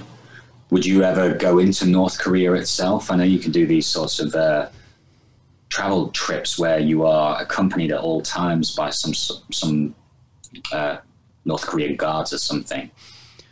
It would be very interesting for sure, but I wouldn't want to do it for the same reason why I wouldn't want to visit Cuba. Right. My my money would go to to like a totalitarian government, you know, and um, yeah. I don't know, man. Weird, weird stuff has happened there in North Korea with that uh, American um, student that got captured there. You know, for supposedly stealing something, and you know, I don't Yeah, know, yeah. man. You w- once you're there, there's uh, there's no one who can help you if if weird stuff happens. So No embassies or anything like that. Yeah. yeah, how how about Um, you? Are you attracted to that at all, or Uh, I did consider it years ago. Uh, I think when I was in my more sort of wacky thinking phase of wanting to go and travel to all these like disparate places, even going through some sort of war zones. I considered going down to Chechnya at one point when I was in Russia. Um, I didn't. I didn't manage to do it in the end. well, you traveled um, to Russia? Yeah, but like, where did you go? Well, I lived in uh, Russia for quite a while. I was living in Moscow um, and spent, I think Moscow is perhaps the city I know best out of any city in the world, just in terms of its layout and whatnot. I really trekked everywhere. Well, Yeah, I love, I love Moscow. Have you been yourself? Or no, no. no? So I, I do recommend it for its history. Um, uh, it's very sort of, um, I mean, a lot of the Soviet architecture is all there, so it's quite grim in, in certain ways, um, sort of grey, Yeah, although parts of it are beautiful. Um, obviously, Red Square is the famous place. Um, I lived in St. Petersburg as well for a while. Um, that's a beautiful city built by Italian architects. Peter the Great uh, kind of built it on a swampland and wanted to create the Venice of the North. really. Russian, the Russian Venice. Yeah, that was his sort of object. He wanted a city that stood for Enlightenment style values, and he was one of these big reformers who come along now and again. So he built this city, I suspect, through serf or slave labor. But yeah, St. Petersburg is stunning, especially in the summer. What brought you? what What did you do there in Russia? Did you, were you just traveling, or Uh, did you uh, work there? Yeah, I mean, I was doing various things. Uh, I was teaching English. I was, uh, I did go off and travel all, all around. I'd had a major travel trip where I sort of hitchhiked about Russia and went from city to city to town to town, visited all sorts of things. Um, went to gulags, went to all the major cities such as like Kazan, Ufa, uh, um, Yekaterinburg, however you pronounce it. Um, uh, yeah, Chelyabinsk, which was the city where they built all the Soviet tanks during the war. yeah, just hopped about really, hitchhiking with fat, mouthy truckers generally. Oh my god, that, Uh, that's an adventure, one- dude. It was, it was brilliant. Um, the guy taught me, one guy, Collier, his name was, I always remember his name, this uh, real chubby guy. I flagged him down outside St. Petersburg, like just at some gas station, and asked him where he was going. I was trying to go south. I wanted to go to Sochi, which is in the south where all the Winter Olympics are held. Uh, and winter was on its way, so I thought I'd go south. It's a bit warmer down there. He was going. He ended. He was going uh, east originally. He was heading east, so I just got in and ended up five days later in his hometown, home city, Chelyabinsk, and then jumped around some of the cities there. Yeah, you should be able to see it. Where um, let's see. So you you flew into Moscow probably, or Uh, yeah, I was living in Moscow, uh, and then I was in St. Petersburg a bit later up there. Uh, I was trying to get south, going down past Voronezh and down, uh, yeah, down towards uh, Volgograd, what used to be known as Stalingrad okay, during the Soviet days. Um, but instead went east over to, if you pan out a bit, so big. yeah, yeah, it's huge. Russia is massive. Further, So it's much, further east. yeah, it's much for, yeah, yeah, you should be able to see it. Uh, so Kazan is there and Chelyabinsk is there. If you just, oh, zoom in. Oh yeah, here it is. Chelyabinsk. Yeah, there. So I hitchhiked it there, traveled around all that area as well.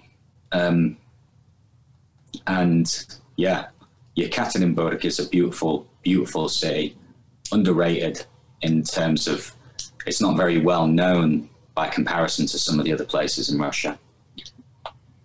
Chelyabinsk is quite grey, but I, I, I quite enjoyed my time there. Um, proper Soviet sort of style city. Right. Have you been to Russia yourself or not? No, no. I'm I'm fascinated by it though. And you said you visited the gulags. Yeah, I was staying in uh, a small town city called uh, Perm. How do you spell that? P E R M, and then but it's got Nyakiznak at the end. So just put Perm Russia, yeah, and it should come up. There you go. Okay. So I was staying with a, a couple who um, lived in the in the town, and yeah, I've walked past all these. Nearby was a uh, a gulag. I can't remember the exact number of it.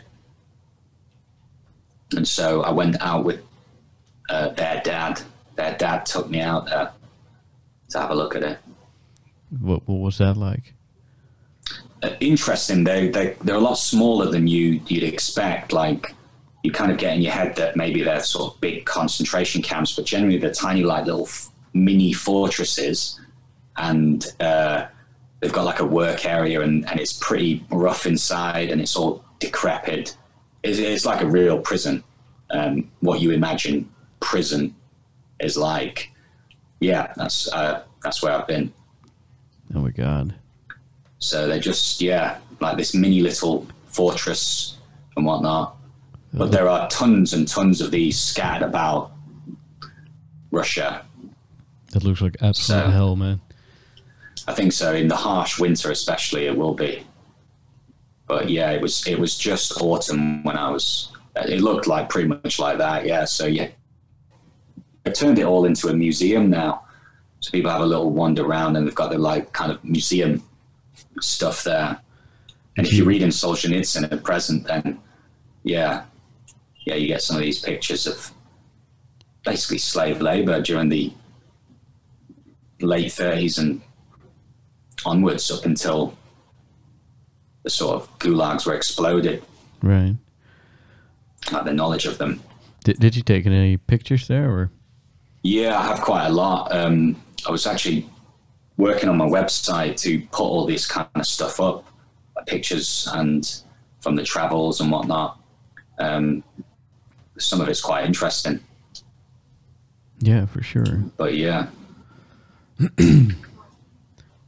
I think this all these little towns and cities are in the yeah the Ural Mountains as, as it's known, or on the edge of the Ural Mountains. Okay, and then where where did you go next? Uh, I hopped about from town, little village. I went so many little places here and there. The major places I was in Izhevsk for a while, which is a small town there, just to the just to the sort of uh, southwest. Yeah, uh, I was only there for a while. I stayed in Kazan for quite a while. Kazan is uh, Tatarstan, so it has um, this in, incredible mosque. Yeah, so Izhevsk is not much to see there really. Although it's it, it's good to get a sense of the real Russia, basically, and Yeah, I was massively into all the Soviet history as well. So I, I, bet um, they don't see a lot of people from the UK there. yeah, yeah, Look at that. you see a lot of that kind of those Soviet style monuments around, and then sort of contrasted with the the old uh, like Russian Orthodox style churches. But yeah, the next one of the cities across called Kazan. Have you heard of Kazan before? Mm, no. How do I spell that? uh, K A Z A N. But uh, one of the most beautiful buildings I've ever seen is the the uh, not that building, this mosque here. It's pretty big. The blue sort of domed mosque. All right. The uh, the area was like um, I think dating back centuries into like the 14th century. It's been sort of settled by the Tartars, who are sort of Muslim Russian people. Um, and so, yeah, it has its own Kremlin as well, Wow. which has churches, and I think that there is a synagogue there as well. This is within within the, the Kremlin fortress of Kazan. So it is it's quite beautiful when you go there. I spent quite a while there. We shot a music video there as well. Were you uh, rapping back then as well? Yeah, I've been I've been doing music for years in various like stopping and starting here and there. So yeah, And were you was your old uh, music uh, also uh, political or um, or was it more? some of it, yeah, some of it was. I think this is a new development with all these new songs are a bit more explicitly political. Um, I used to write about all sorts, really, although in my early twenties, uh, like I needed to polish up some of the phrasing and how how things are worded a bit. So I think that's what I've been doing over the last four or five years. okay. But Well- yeah. What are the what, are the people like in uh, Russia, man? Did you feel uh, feel safe there the whole time? Or? Yeah, I, I, I, I spoke Russian to a good standard, so I kind of uh, um, like could get on pretty decently. And um, Russians are they they have a sort of they're very hospitable once you get to know them well, and especially the old like babushki, old grandmas who basically just give much food as you can imagine, just tables laid out with it. Um, so yeah, I, I, I love Russians. I, I, I got on like massively with many of the people who whom I stayed with here and there and made friends and whatnot. So Cool. yeah. What's your experience of people who, who you've met here and there on your travels? Um, well, I mean, I, um well, every every country definitely has its own uh, its own vibe, you know. I found that people in uh, on Bali were were the most were super warm and super friendly and uh, very open and, hospitable, like you said. Yeah, most I, I quite like uh, most Asian countries I've been. Koreans are generally, in my experience, they're you got to get to know them a little bit before they open up, you know. But if you go to uh, like Tai Taiwan, it's uh, that's almost like you're a celebrity there, you know. People people want to take pictures with you, and uh, Okay, yeah, that's interesting. Yeah, and I think the Russians are the same. It takes a while for them to sort of open up to you. I think They always you, think you're American, Yep, mm, yeah, Um, probably, yeah. and they, they have quite still. There's still some sort of, uh, I don't know, suspicion towards Americans in Yeah, general. and you know they those people have been through a lot in in history too, and I think that makes them a little bit um, you know hardy too. Mm. Yeah, Yeah, I, I, the few, the few Russian people I I know, they always kind of have this toughness about them. You know, you you don't they don't smile that quickly. I think that's true. Yeah, Yeah. They're they're and you know not saying they they never smile, but they're you know you can you can see that they're they're kind of hard. They have hard eyes. You know. Mhm. Um, Yeah. Um, and I, I went to America afterwards. You've been to America as well, haven't you? I saw. yeah, many times. Yeah. So traveled quite a bit in America. Um, so it was quite a contra- like a contrast afterwards. Uh, Did, the, did people at the border um, ask you some questions when they saw a Russian stamp on your passport? Or Uh, not really. No, they weren't that bothered. Um, I kind of sailed through because I had like well the British passport, so it was it was generally fine. Um, okay, I think only certain places the Americans get a bit uppity, although that'll have changed in the last few years, um, and it's a lot more stringent. I think now, especially. Um, what did you? What was your experience of it? in the U.S. Yeah, Um, I I I get along great with uh, with Americans. Yeah, yeah, same. I think your wife is American. You said as well. Or? yeah, yeah. So I'm I'm kind of Yeah. used to. Uh, I'm I'm pretty used to uh, you know Americans in general. I guess Yeah. Where is she from in America? Florida. Okay, cool. Yeah. Florida. I've never been. I didn't go down to Florida when I was there. Oh. So Where, did yeah. you go? Uh, again, I hopped about from city to city, and I was in New York for a while. Uh, then I went to like Philadelphia, Washington D.C. Uh, yeah, Chicago, San Francisco, Santa Barbara, Los Angeles. Just hopped about uh, all the major places. I think Wow. there was a lot I left out though. So you went So- from New York to Los Angeles. That's uh, that's a long way. It is, yeah. Um, just I was either getting a train or Amtrak things. Um, yeah, it was it's good. I, I really loved it. I think I, I knew a lot of Americans from my time in London, so people scattered about here and there. Couches to crash on. Yeah, yeah. So there was like a place for me to stay in San Francisco, in Los Angeles, New York. Um, but yeah, it was good. What was your uh, favorite spot there? Uh, I, I like New York mainly for the the history and hip hop.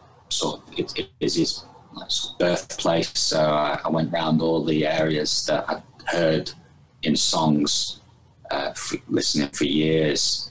So I went exploring. Uh, really trekked the entirety of sort of Manhattan, especially, and then other parts of Brooklyn. Uh, just trekking everywhere. I caned my feet to like yeah, my feet were absolutely after those couple of three weeks, whatever it was. Um, I like San, San Francisco a lot as well. Have you been? Or No, no. Uh, the furthest I've been west is uh, San Antonio, Texas. Right? Yeah, I didn't go down to Texas. I would have liked to. Texas is great. Yeah, San Francisco was. What did you do in San Antonio? Uh, I had a friend live there. I, I was an exchange student in the States in 2011, and I made a lot of friends there. And, you know, after college, everyone scattered all over the country. So I had, um, you know, one of uh, one of my friends moved to San Antonio. So um, I drove there from Pensacola, Florida, which is like the, Right. um, you know, the, the western Panhandle. Uh, it's like right under Yeah. Alabama. Did uh, did the music uh, street like Fifth Fifth Street? It's called, if I remember correctly. And there's all the music joints and barbecue places, and um, yeah, man, Texas is cool. Yeah. Right, I will go at some point. Definitely, I think. Um, Have you been to New Orleans? I, haven't. No, it's one of the play. Another place I really wanted to go, Yeah. uh, just for mm, like jazz history and stuff, um, but didn't get a chance. Um, and at the time, I think I can't remember. America only allowed you three months stay, Correct. uh, so I don't know if it's still the same now. But um, right so I now, needed. right now, there's I- no I way really to get in at all. Yeah, of course. Um, I was really pushing it at the time. I think I I flew. I- I, flew back from LA, but I had to fly to Philadelphia because all these. It was the Christmas when all these uh, storms had hit, um, and so all flights had been cancelled. So I had to stay an extra week in Philadelphia, I think it was, and then fly back after this had all cleared up. This was ten years ago now. Okay. So yeah, How, how, how old were you when you did the Russian trip and the U.S. trip and everything? From the age of 18 to till like 20, 21, 22. Wow. So, and then I came back to Britain and then, yeah. And then when I came back, I was looking for a stay in London, stayed there for a bit, too expensive, and then moved up to um, like Manchester, um, lived there for a while, and got involved in all the sort of underground battle rap scene in across that was happening all across the UK at the time. It was pretty big. Um, so I was involved with that for a time and then stepped back from it and kind of just pursued other things, writing and whatnot. Okay. So yeah, Cool. and then we we just decided to release these songs a few months back, and it's what we'll be doing now for the next year or so, slowly building up a channel. Okay. Uh, You want to move into the rest of the lyrics? yeah, yeah. So yeah, uh, All right. you want to get back into the second part of the song, or Yeah, yeah, yeah. what's your thoughts on the song, or what do you what what you meant by it, or what did you take from it? Um, I was like, oh wow, this this is a lot of uh, spot on stuff. It kind of um, ties into what people like Jordan Peterson are saying, and I was like, uh, all right, this this is definitely. It also it also caught my attention because it's. You don't hear this kind of stuff very often in in well, you don't hear the stuff ever in popular music, that's for sure, but not really in music in general. And yeah, well, this this this like it's almost like a new genre of like intellectual rap music that that um, you know ties into uh, meaning and calls out um, all the stuff that's going on. Yeah, I think I think that's how we sort of wanted to frame it. Left Axis, the producer of the song, he calls it essay rap, um, Essay where a lot of yeah, just That's it- good. it's just his term for it. Um, a lot of it's written. I'll write it out as a sort of mini article or essay. Um, so I'll write it in prose initially, and then take a lot of the lines. Um, I don't know. Take any of the line, any line. Most of the lines in there began as just like a, a, a sort of prose from a prose article, and then I, that I wrote, and then just I layer it up with rhymes and lyricalize. That's pretty much how I write these days. Article and then Do you actually, translate it into lyrics. and, and do you? Uh, uh, I'm sorry. D- do you? Um, yeah, that's that's the delay, man. I'm not uh, talking over you because I'm being rude. yeah, yeah. No, um, do you? there was a bit of a delay. Yeah. Uh, do you actually have like books that you're uh, referencing stuff from while you're writing this stuff? Yeah, definitely. There's a lot of references throughout the song. Um, a lot of references that uh, like to philosophical uh, writers. In the second verse, there's, uh, there's a little segment which is based on a tiny extract from a Norman Cohn. Norman Cohn, I don't know how you pronounce his surname, uh, who talked about um, like what was going on at the universities. I think he was writing in 1996. I can't remember the exact year that he was he wrote it. So I, I took a bit of inspiration from that. Um, and, and word usage as well is is sort of important. I think there's a lot of what is Nietzschean language, language that is sort of inspired by Nietzsche. so yeah, and there's there are many bits that are quite strongly worded. I was I was like second guessing a lot of lines here and there, but in the end, I just went with them. It's a lot of uh, rewriting there. Yeah. So the last four uh, lines is uh, perhaps it m- might seem puzzling, but human beings need suffering. If there were no enemy to contend with, then it would be necessary to invent it. Yeah, that's uh, um, sort of a reference to St. George in retirement syndrome. Have you heard of that? No. So St. George is on his way. He's, he's killed. He's killed dragons. Do you know what I mean? He's saved the world or whatever. Uh, he's in retirement, but he's got no meaning and no purpose, nothing to suffer for anymore, nothing to work, no goal to work towards. So he starts imagining dragons and fighting these imaginary dragons instead. Um, it was something that was referenced by Douglas Murray in his book Madness of Crowds, if you're familiar with that. Um, I know Douglas Murray, but I don't know. I haven't read this book. Yeah, good book, Madness of Crowds. He, he just looks at um, various things that have happened over the last, well, mainly 10 years, and uh, all to do with like race, uh, sexuality, a lot of the movements that have arisen, a lot of the craziness that has come from all these university programs. The Madness of Crowds, Gender, Race, and Yeah. Identity by Douglas Murray. Okay.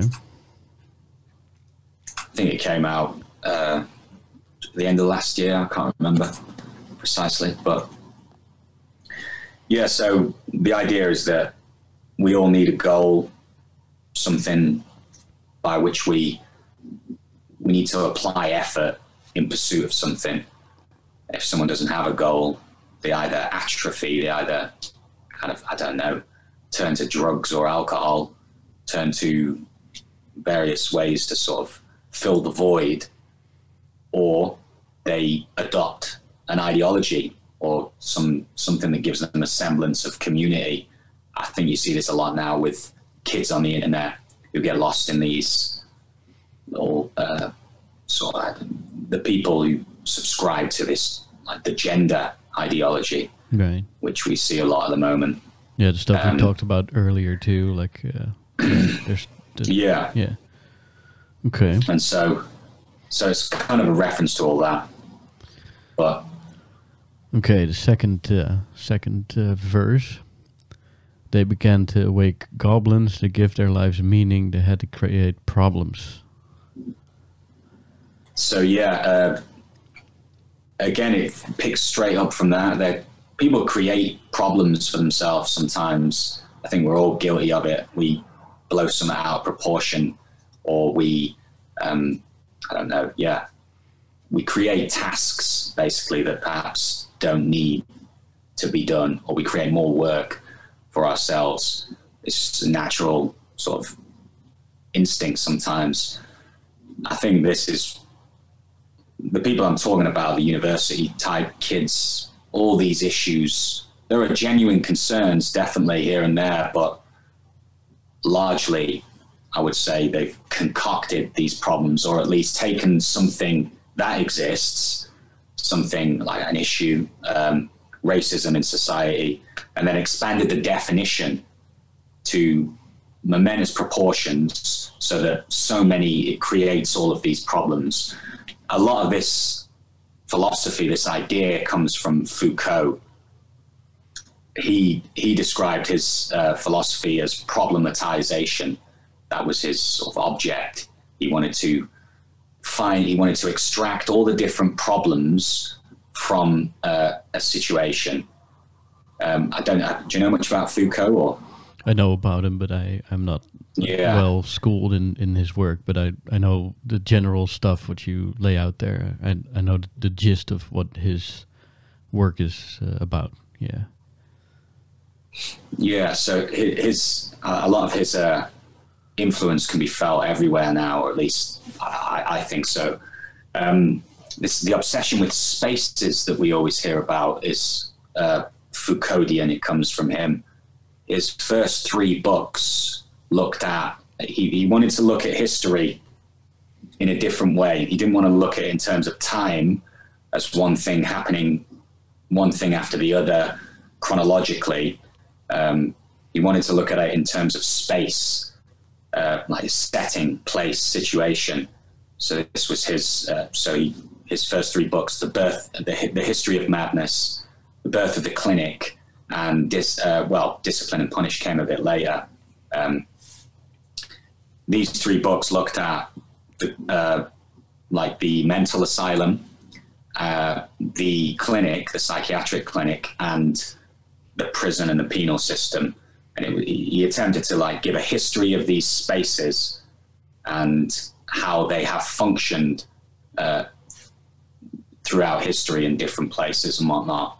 What roles they've played, the scenery. Um, so these are quite intense studies.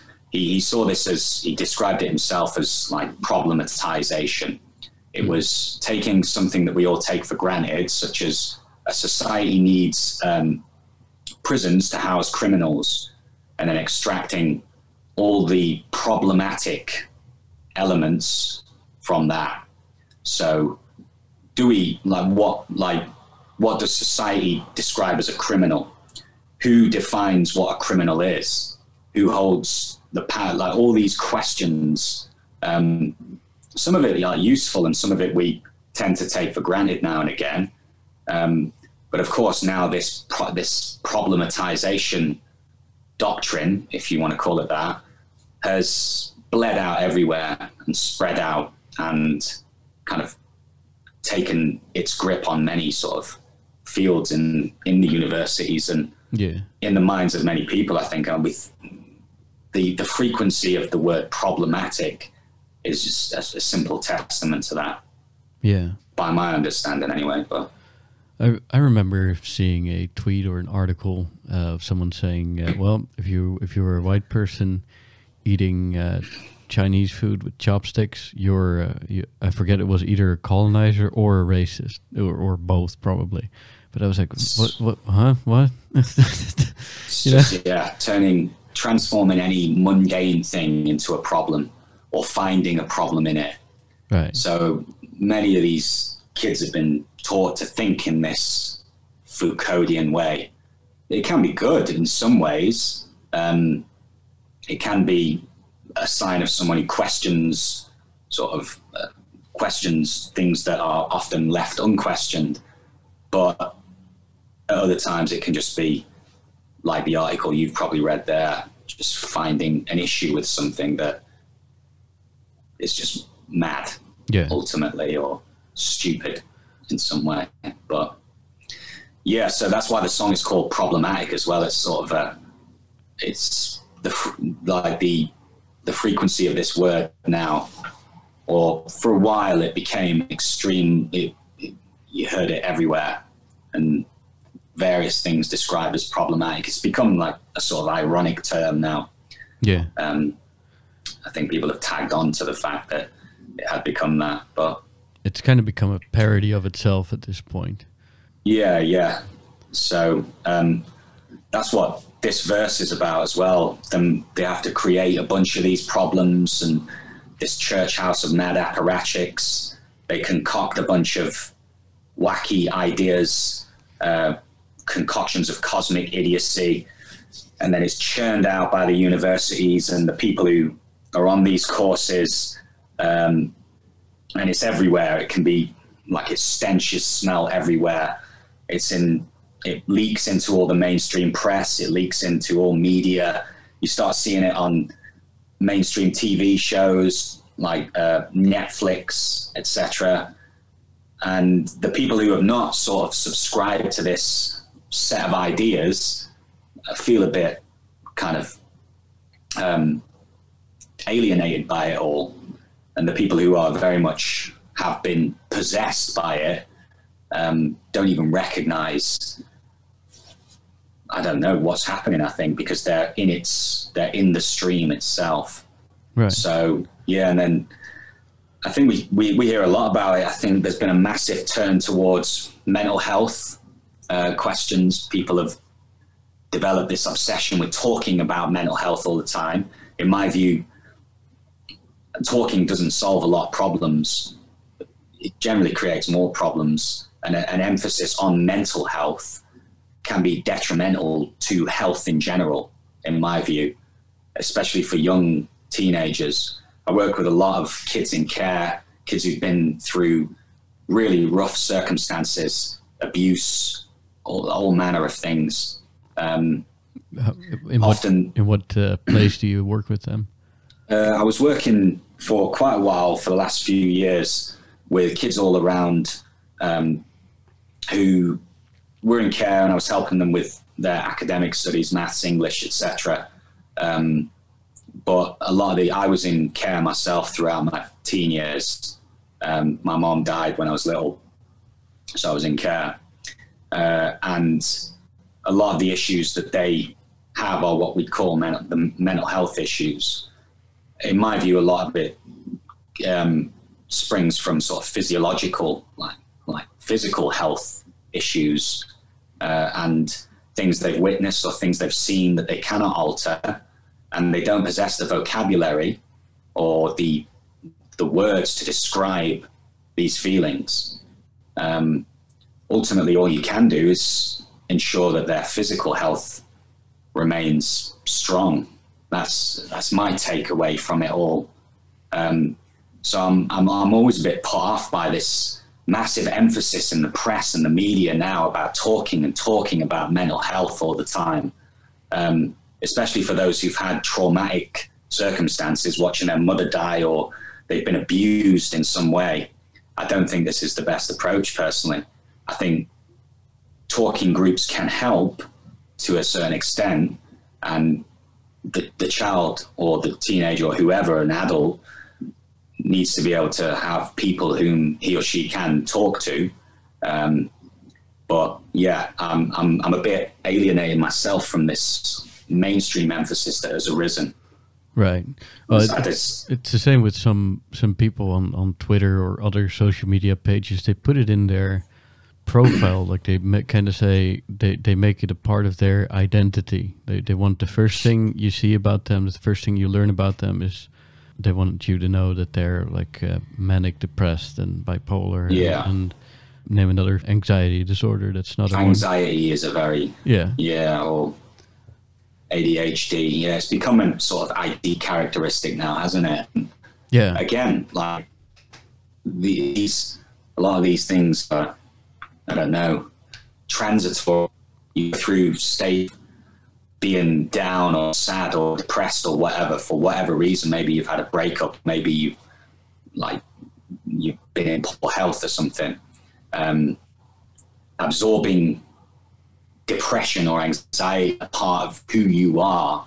Um, I don't. I don't. I don't regard that as sort of like. Yeah. I, th- I think that's probably not helping I don't know. I'm not. I'm not an expert on these kind of things, but I, I see it a lot with the kids now and the new generation, the Generation Z guys. Um, yeah, I, I, I don't think this pathological obsession with mental health ultimately helps. We right. see everyone from Prince Harry and to all sorts of celebrities going on and on about it. Um, yeah, and I think it it has come from these university departments that have pumped this sort of I, these ideas out for a while. Um, and now mental health, your mental health issues have become a facet of your identity. Right. Um, instead so, of instead of something you have to work out and try to find a way to to deal with and kind of move on. Try to live your life the best way you can. You know. Yeah, to overcome, I think. Yeah. But, or, yeah, or or deal with in in a way you know that makes you a productive, functioning person in society. I guess. yeah. Yeah. Um, and that's when, well, I start listing off a few of the things here as well. The um, the the wretched specter of oppression, the fetish of progression, constant progress, um, and they believe in like I think the only type of progress we ultimately have is technological progress. The real people who push things forwards are the scientists, the engineers, the artists who come up with the the sci-fi ideas in the first place, and then engineers and scientists ultimately figure out how to do this, and that's what leads to the progress as we see it. The fact that I can speak to you now, you're in Rotterdam, and I'm here, and we can talk through. You know I mean, I don't think we have progressed morally. Um, I think we've just altered moral values, just changed a bit. Whereas a lot of the people who call themselves progressives generally are talking about like what I glean from it is moral progress. I think I don't know. Um, I'm always a bit suspicious of that because the communists and the fascists were saying exactly the same thing. They were the progressives of their era. They were the people trying to create the new world, the new men, or the new society. So, um, yeah, And there's there's not to say that that everything is perfect or things couldn't be improved or anything, but when things get when people start talking about utopian ideas and and you know that's when I also kind of get nervous. And there, Yeah, there seems to be a lot of that. Like it never never works out well, in, as far as I know. Yeah. How much of it do you think is due to youthful uh, daydreaming or youthful sort of ideas? Because I was quite, um, I would say, left wing in my youth in that regard, like utopian thinking and Right. we can create a better society, etc. Oh. And since I've probably grown a, a lot more realistic. Well, I'm, I'm sure there's there's definitely an element of that to that. I remember when I was in high school, and we I, f- I forget which. This is a long time ago. It's like more than twenty years ago. But I remember one class. There was uh, in a book. It was basically, which I later uh, recently realized was postmodern theory, I guess, and it basically said, well, whatever you find reality is reality. And you know, when when I read that, it felt kind of weird, but I liked that idea, you know. But then when I, when I was like riding my bike home, I was uh, I, I was thinking about that for a long time as a as a, like a thirteen year old, and and I came to the conclusion. But what if I want my bike to be a Ferrari or a spaceship, and what if I want hmm. to have a million euros in my bank account? And what if I want, um, you know, if I want to fly like a bird? And then that's not going to happen because I just think it or want it. So even as a as a pretty young kid wrestling with that idea, I drew the conclusion that there there is some kind of reality you have to contend with, whether you want it or not. But you know, I I I figured it out at a pretty young age, I guess. But what puzzles me is that there's young adults who kind of still live in this have, have these ideas that you that I think you are have supposed to have figured out when you're at least in your early 20s, you know. And, Yeah. um, and pe- people who who what else the one thing that really bothers me and puzzles me most of all is safe spaces in college campuses.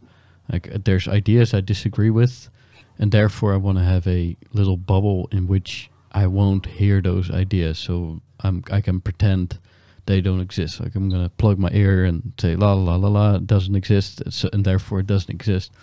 I'm like that that's kid stuff, you know. That university is supposed to be the Mm. opposite of that. You're supposed to have your worldview destroyed from all angles, and so you can figure out what's true, you know. And um, I don't know. It, it's it's like, yeah, I, I think a lot a lot of people just need to grow the hell up, you know.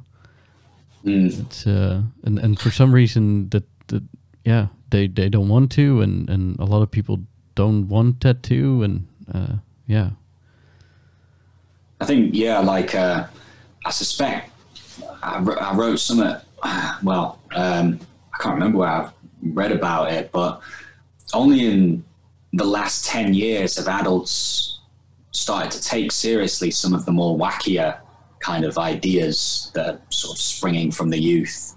Um, A lot of these, the gender ideology sort of ideas that have come to us through various channels here and there, um, and it's sometimes hard to trace where they come from, um, but have suddenly burst out into popularity, like declaring oneself non-binary and Right. opting out of the sex binary, as if that is even possible. Um, this has become a sort of little fashionable kind of thing to do now, and uh, they they think perhaps they're who they truly are. Um, and these ideas are taken seriously by the mainstream or by adults, and now it's like companies and firms, and the activists are pushing it here and there and everywhere.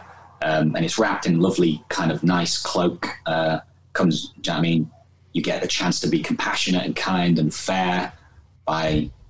So a lot of these movements are driven by I don't know, appealing to people's egos and making them feel like they have to uh, accept these ideas, otherwise they're not being kind and compassionate. Right. Um, so much of politics now relies on that, I think, um, and it creates the situations we've seen for the last five years. Well, the, it creates reactions.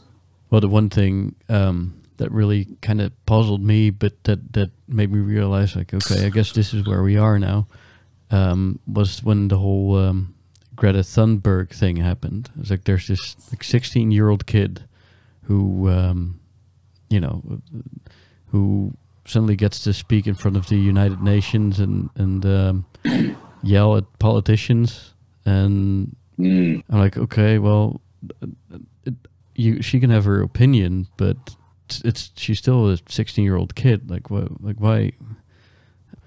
But I guess world leaders have to take her seriously it's almost, because. yeah.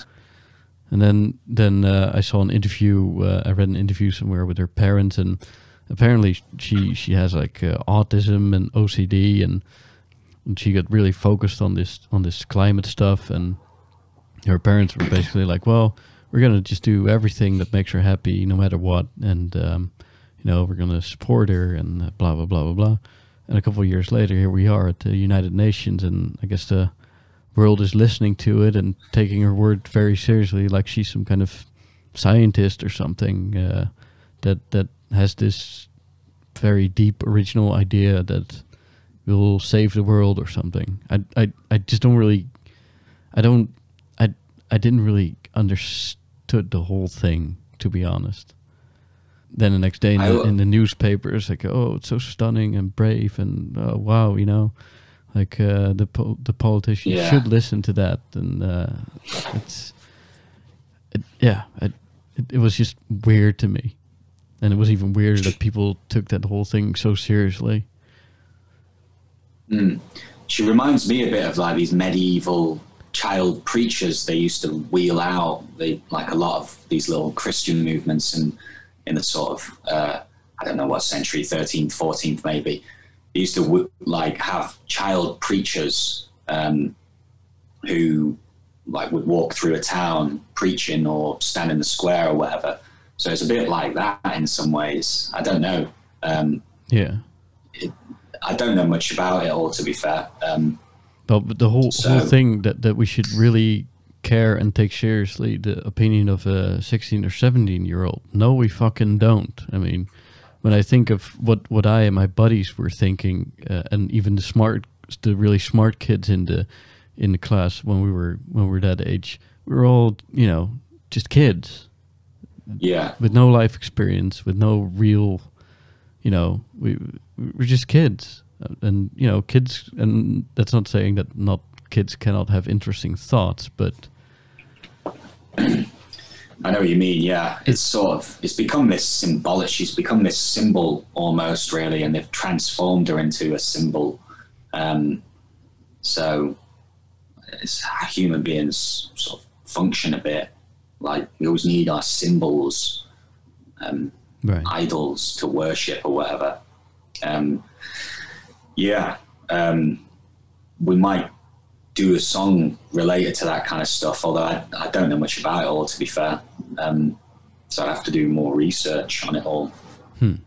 But yeah, all right, I guess it's what I'm talking about in this as well, yeah. to some extent. So we are at the trapped in the cryptic wariness, the phantom of lived experience. Yeah, Yeah, this is a common phrase, lived experience. Uh, all experience is lived, so I don't understand why they need to put lived at the front. But it comes from, again, uh, a lot of these university fields, and now it's become this phrase. Um, it's like my reality versus your reality, that kind of stuff. pretty much, yeah, it's like post positivist, which means it sort of it sort of denies any objective reality. It says that, do you know what I mean? Yeah. Well, it's my reality, my truth kind of thing. And then if people can't agree on certain basic values or certain basic truths, if uh, people can't agree that, for instance, sex is binary, um, and that you have male and female, and that within these two categories, they're extremely complex and there are massive amounts of variation, and sometimes the variations overlap. Um, but if people are rejecting something which has mountains of evidence, like in its support, and saying, "Well, my lived experience is that I am of like of neither part of that binary. I am non-binary or whatever."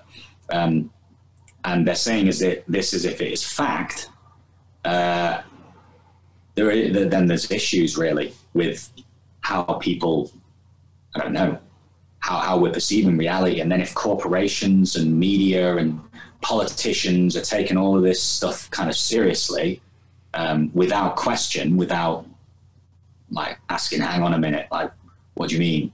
Or how, how, how are you, how, how can you define yourself in that way? Then yeah, Well, I mean, a lot of people would call you transphobic for saying what you just said. You know, and this is what I'm talking about with the sort of the expansion of uh, the like a term used as uh, a beratement like that, like used to berate someone for holding a certain uh, well a factual stance, um, and this word now instead of it being you instead of you attacking a transsexual person or someone who like like dresses in a certain way or someone who's undergoing the procedures etc it's become this huge word that you target anyone with. Um, so if someone says that a man cannot become a woman which is verifiable fact um, it's impossible for a man to become a woman or vice versa. Um, this is now seen as transphobia.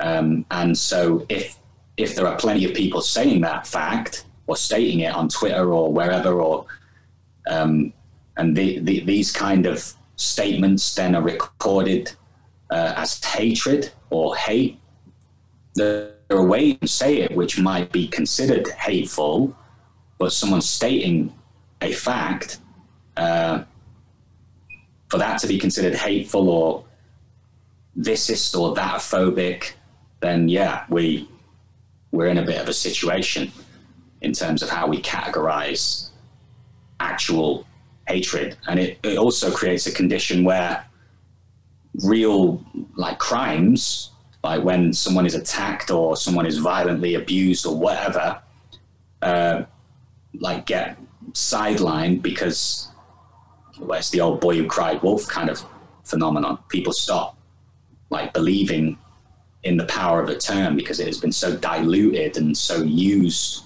all the time on Twitter or on social media that it loses all its actual meaning in a sense. Right. So, what do you think about that? About what specifically? Just the like when something is described as transphobia or or I don't know, like plenty of instances where things that like a, I, I wouldn't consider racist uh, are described as racist or sexist or racist oh. or whatever. Right. Um. I don't know. What what scares me is that people can have their lives ruined and careers ruined because people accuse them of being whatever. And once you carry that label, um, yeah, you know that that'll follow you around. Yeah, that that worries me. And there's there's also like the the guilty by association kind of thing. It was I think it was a while back with um, like Joe Rogan. He uh, he you know he gets every everyone on their podcast on his podcast, and um, I forget the name of it, but but it was this um, this lady who wrote this book about um, transgender. Uh, Abigail Shrier, yeah. Yeah, like conversion therapy and stuff like that. Irreparable, yeah, the book. Yeah, yeah. What's it called? Yeah, it was. I think irreparable damage was the name of the book.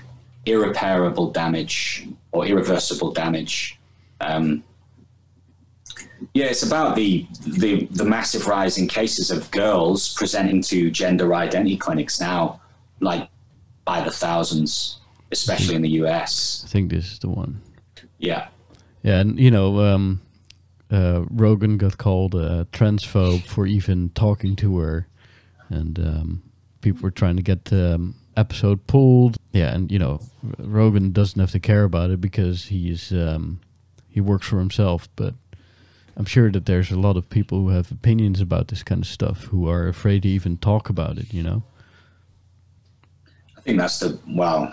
That's why I sort of wanted to start doing these songs, basically to start in a different way, talk about certain issues that supposedly we're not allowed to talk about. Uh, I'm just going to talk about them, and I'll try and be fair and reasonable, and I'm willing to engage in any sort of conversations. A lot of my friends have always been like, I don't know, I wouldn't consider them like people who've swallowed this ideology, but nonetheless like left, left wing. Uh, but then I have mates across the spectrum. So, what would they say? What, do they think of what you're uh, what you're saying? Are they, are they on board with the whole uh, stuff you're criticizing in the song, or? Some of them understand it where I'm coming from. They might not agree with all like certain points, um, but it's the inability to actually like discuss certain ideas now, right? Without it receiving one of these sort of tags and whatnot, and it's become like a cliche now. People saying um, oh, you can't say anything, blah blah blah. It's it's it's a cliche because it's true, and yeah, but that's, that's dangerous, and, man. That's dangerous. Precisely, I think you need to be able to speak about, um, and even I don't know the tech companies like getting rid of uh, some of these conspiracy theory types.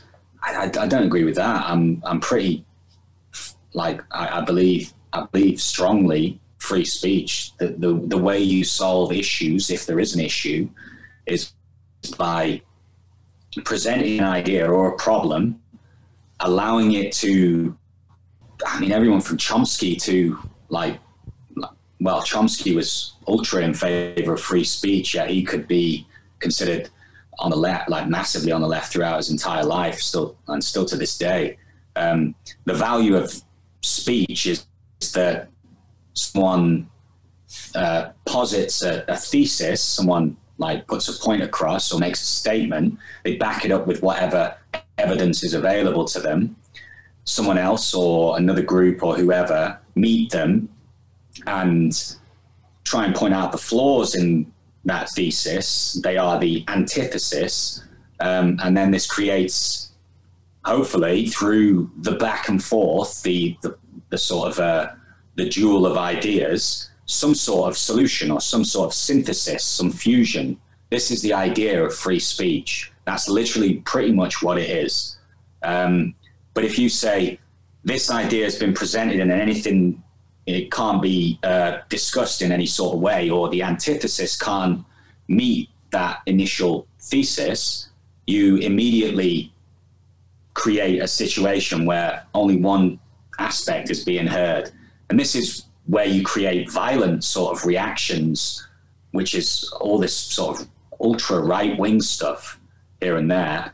Right. Um, and yeah, and then if people are in paths, um, you, I don't good luck kind of stopping them heading on that once you've cut off the ability to actually communicate in certain ways. Right. Um, we see this with plenty of people like getting shelved on social media, deleted, or even a lot of these conspiracists are chucked out and whatnot. So I don't know. There's, there's arguments either way, really, um, with regards how do you like these little bubbles do form and do produce sort of negative uh, consequences or and whatnot.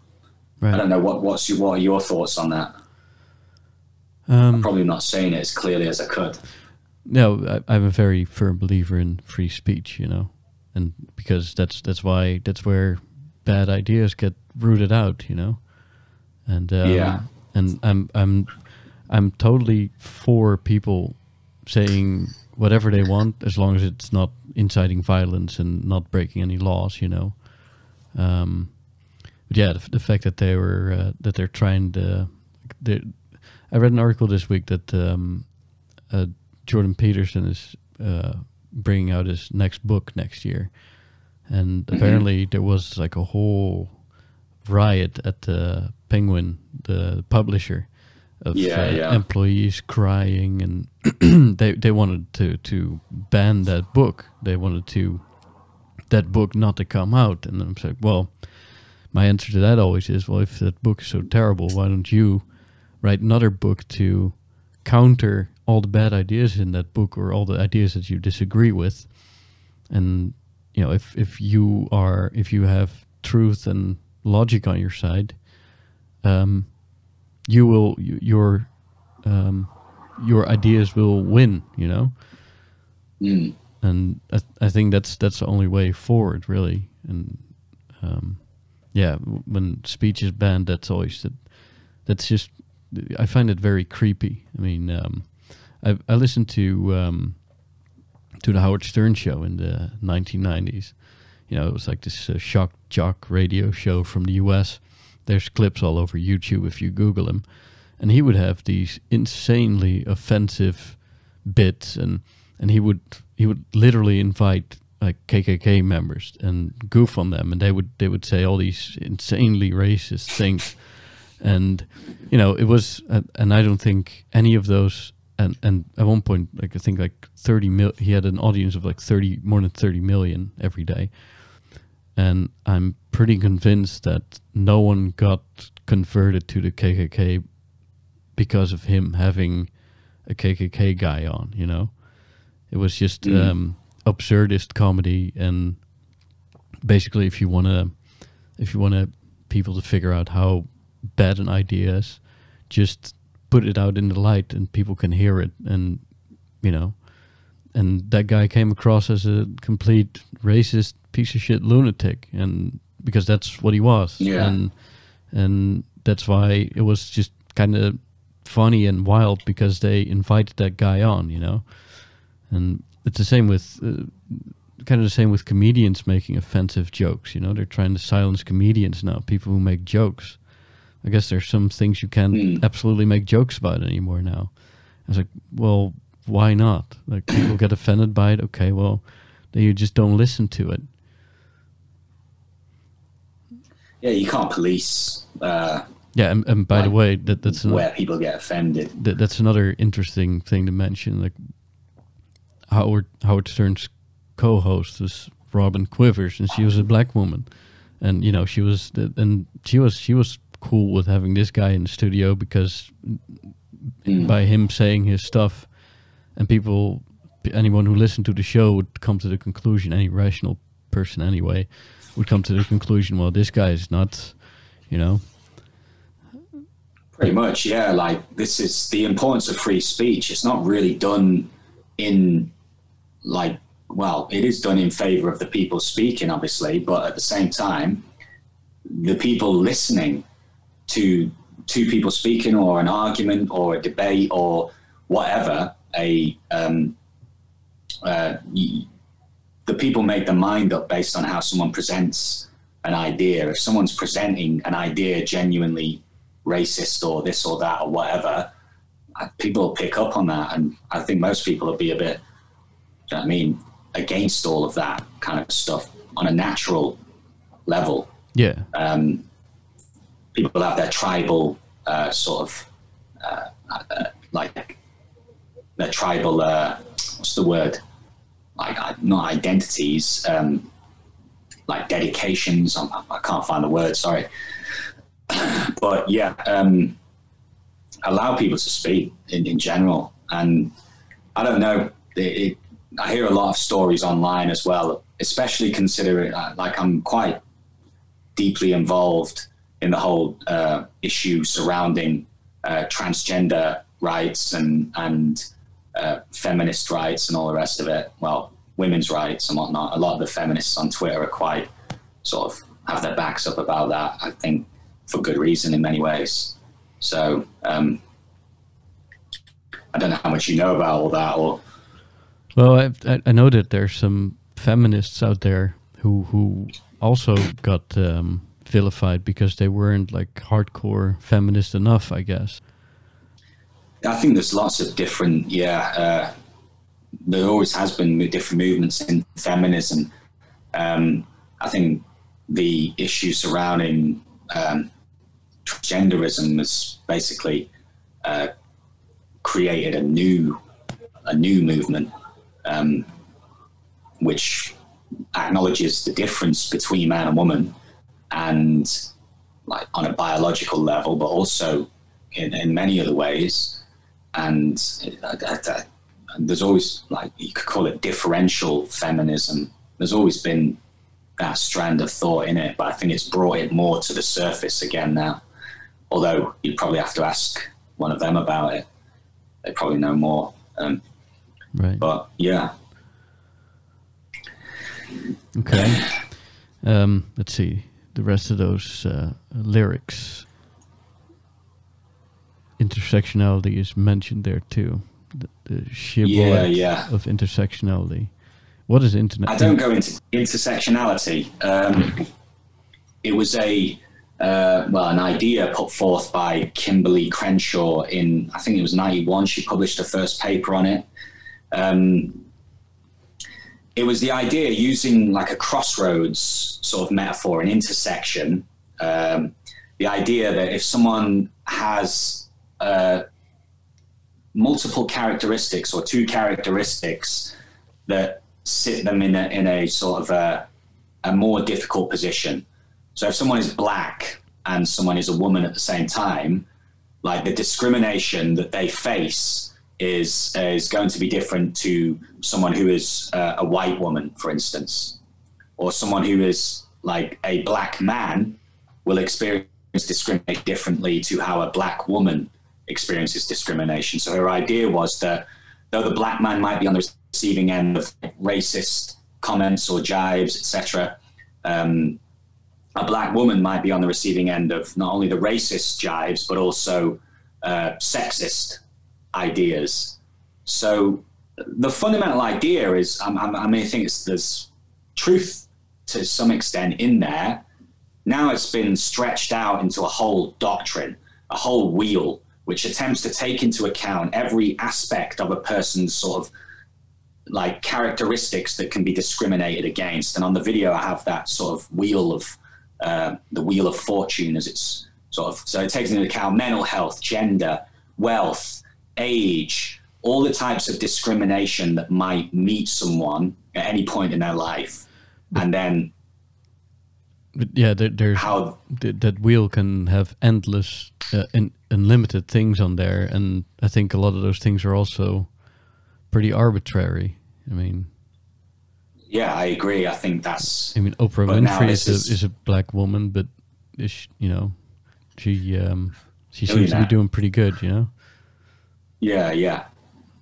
The argument was would be that she'd face like they'd use the argument that um, she faces discrimination differently to how a white male in her position would, and she probably would receive more.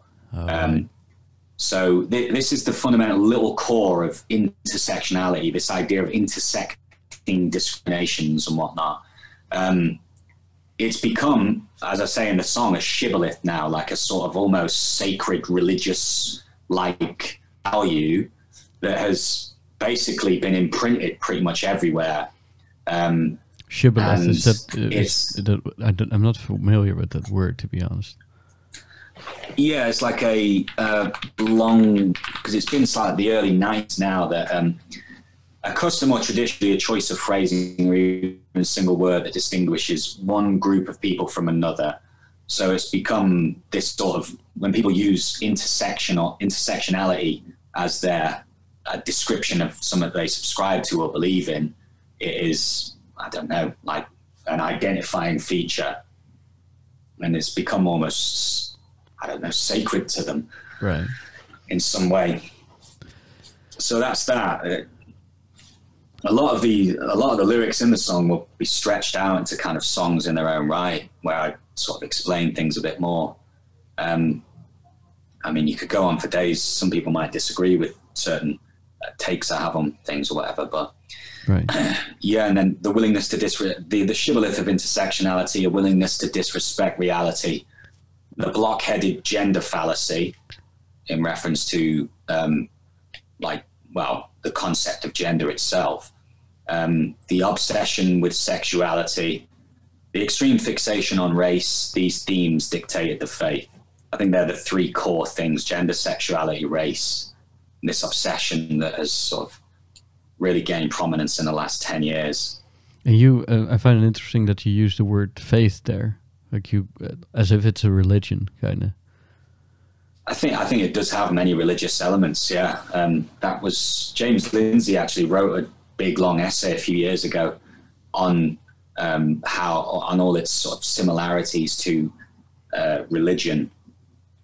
Um, I think after the financial crash, there was this perfect storm moment when um, a lot of the old atheist movement the online atheist movement in the sort of 2000s um, had destroyed religion, or they thought they had destroyed the arguments of religion so thoroughly um, in terms of just pure logic. Uh, this is what they thought, perhaps. Um, then they around, about 2010 they started looking around searching around for some sort of new religious framework and it so happened that this all this kind of stuff emerged. Um, so it took hold of many kind of influential figures in working at newspapers or working in the press or the media. It sounded good. It sounded compassionate. It sounded nice. It's cloaked in these robes of nice sounding things. Well, that's that's the Um, thing, you know. Pe- people, the uh, one argument that you hear a lot is, um, well, why do you have a problem with it, this? Do you do you hate uh, trans people? Do you are you a racist? You know, uh, just be just be more compassionate. You know, it's uh, it, it's a free country. Let these people do what they want, and um, if you disagree with this, you're you're an evil person. Or if you if you have anything to say about it, that's um, anything other than than praise it, you um, you know you you're you're um, dysphobic or that ist or uh, you know. Yeah, yeah. um, and I think that's uh, like it's the way it's some of these i- how these ideas have been applied now and how they've been adopted. Um, a lot of the ideas surrounding, well, we've already looked a bit at the trans the trans stuff. Um, some of the ideas surrounding race, uh, which spring from like critical race theory uh, in the 80s, and What is what is critical race theory exactly?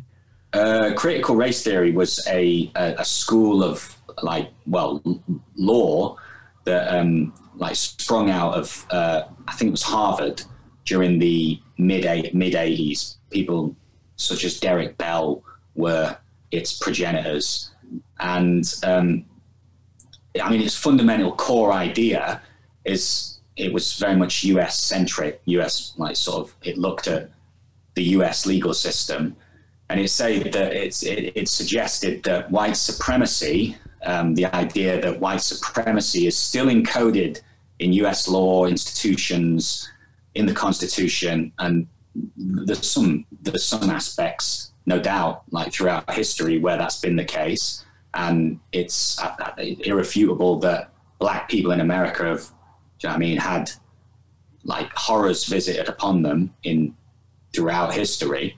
Um, but the idea that this, uh, I don't know, this vague idea of white supremacy uh, exists within the institutions themselves still. And that even people, even if racism doesn't exist in people or is rare, um, the the structures and the, the systemic aspects themselves are racist, are set up fundamentally um, from racist motives or in history have been constructed for the purpose of something to be like racist. So it projects racism wherever it can find it, or, well, onto everything pretty much. And then its doctrines have become extremely fashionable uh, for the last however long. We hear the term white privilege massively.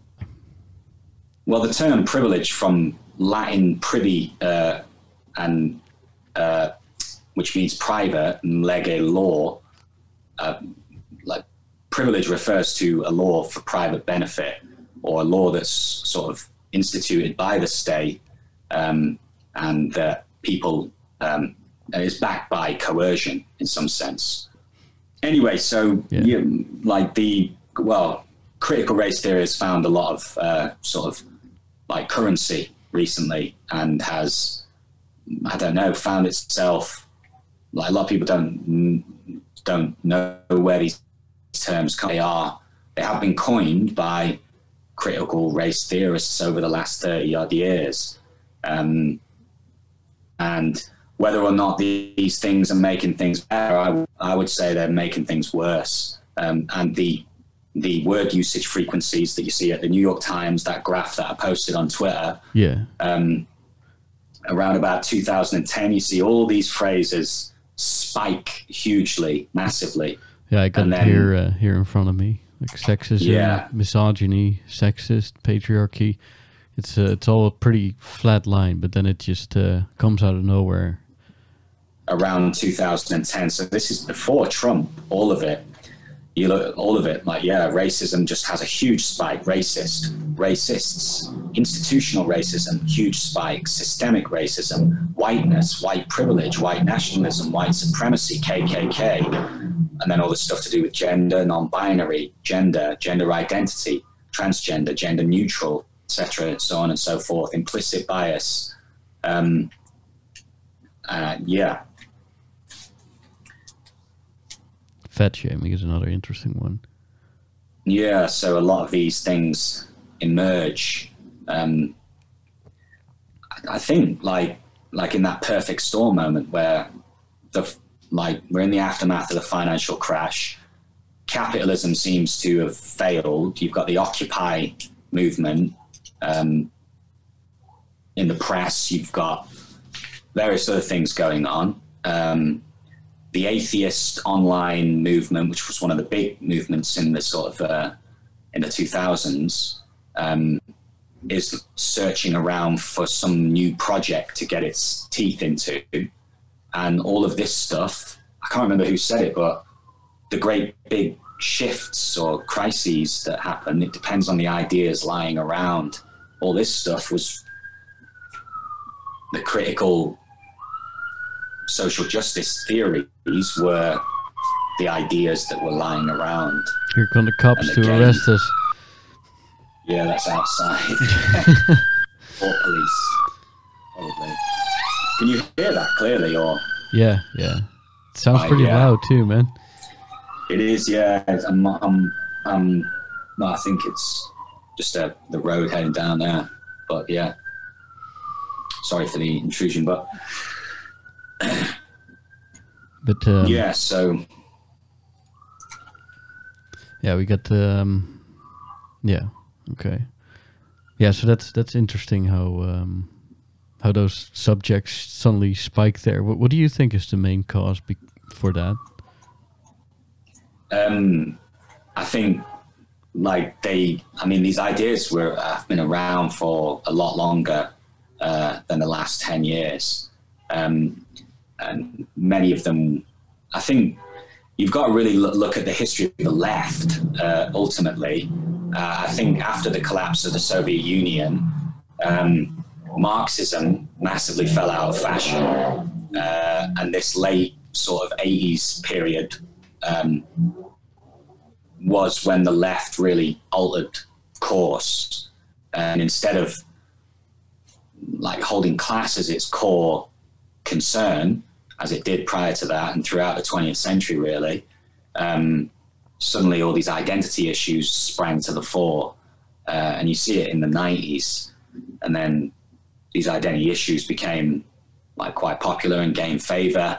And then all the critical social justice ideas that were based on some of this stuff um, sprang to prominence after after the financial crash and were adopted by many of the mainstream uh, I don't know people who'd come out of universities and who went to work at companies, firms, and corporations. People who went to work for uh, papers like the New York Times or wherever, and slowly this sort of from it, how it looks to me, it looks like this sort of eked into every everywhere basically a sort of idea that spread Have you ever considered Yeah. um, writing this kind of stuff in, in a book or something, or is this the way you express your ideas and your? Uh, Uh, yeah, no, I'm writing tons on tons and tons and documents. I've got just reams of it.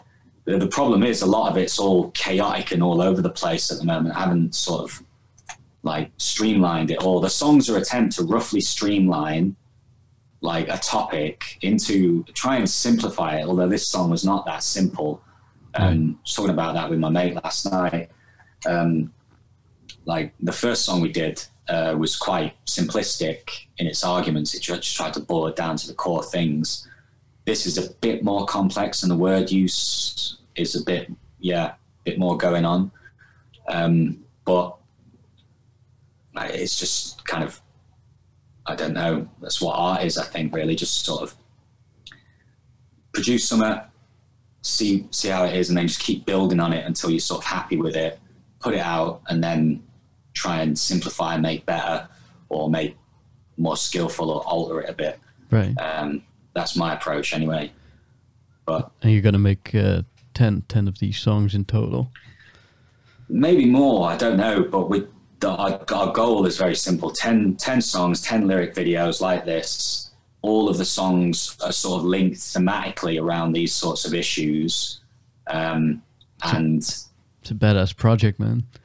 Yeah, it's we call it the, the culture war project inverted commas. Um, so uh, we've got, and then we'll we do we do other stuff as well. It's not all done. This isn't the only topic I talk about, but yeah. So I just thought these issues are massive right now. Uh, have been have been brought to sort of mainstream prominence, and no. I don't see anyone else talking about it people just either go along with the sort of herd like mentality or um, only people talking about it are like people on Twitter or the sort of intellectual types who discuss it on podcasts and whatnot. No one talks about it in a song. So Right. thought there might be a gap there. So we'll try and see what happens with it. Cool. But yeah, Well, but yeah, I, I look forward to uh, discuss the rest of it. Um, so far, this has I'll been very interesting. okay, cool. And uh, yeah, I hope I've not sort of bored you with no, no, man, not about- not at all. It, it's uh, it was great. It was uh, I've I've really really enjoyed this. Uh, like the, the only only thing that I that that I didn't like is the the you know the connection problems every now and then. But that's you know that's just circumstances that we can't really help, I guess.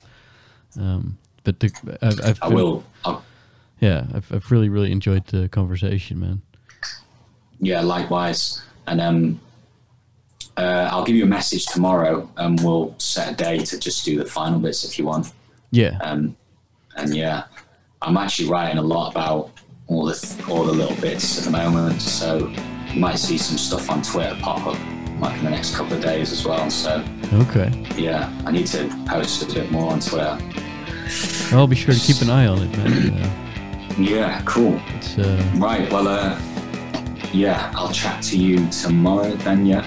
yes, sir. Yeah, that's uh, Okay. Cool. it- it- Um, if, if I added this together into one big thing, it's gonna be uh, yeah, it's gonna be a big, interesting one. Man.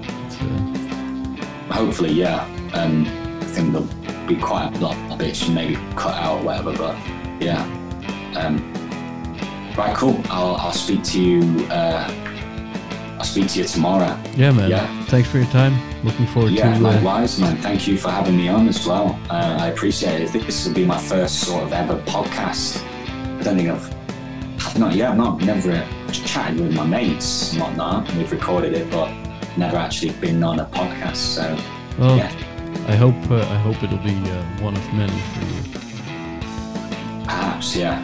We'll see. I would like to. I would like to do it more. Need to streamline what I think about things, though. But yeah, thank you, thank you very much, and Welcome um, and thank you.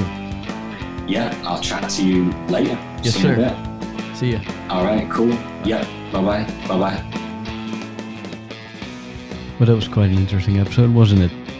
Go to diederik.blog to find all the show notes and all the information regarding this episode, and be sure to find Francis on Twitter. That's Francis Aaron UK. You can find him there, and uh, also find him on YouTube. If you look for Francis Aaron, you will find him. That's spelled F R A N C I S A A R O N. And uh, if you go to diederik.blog, be sure to sign up for the newsletter and click the link to our sponsors to uh, help the show out and keep this pirate ship going. And that's it. First episode of the year. Thanks for listening, everybody. See you next time. It seems.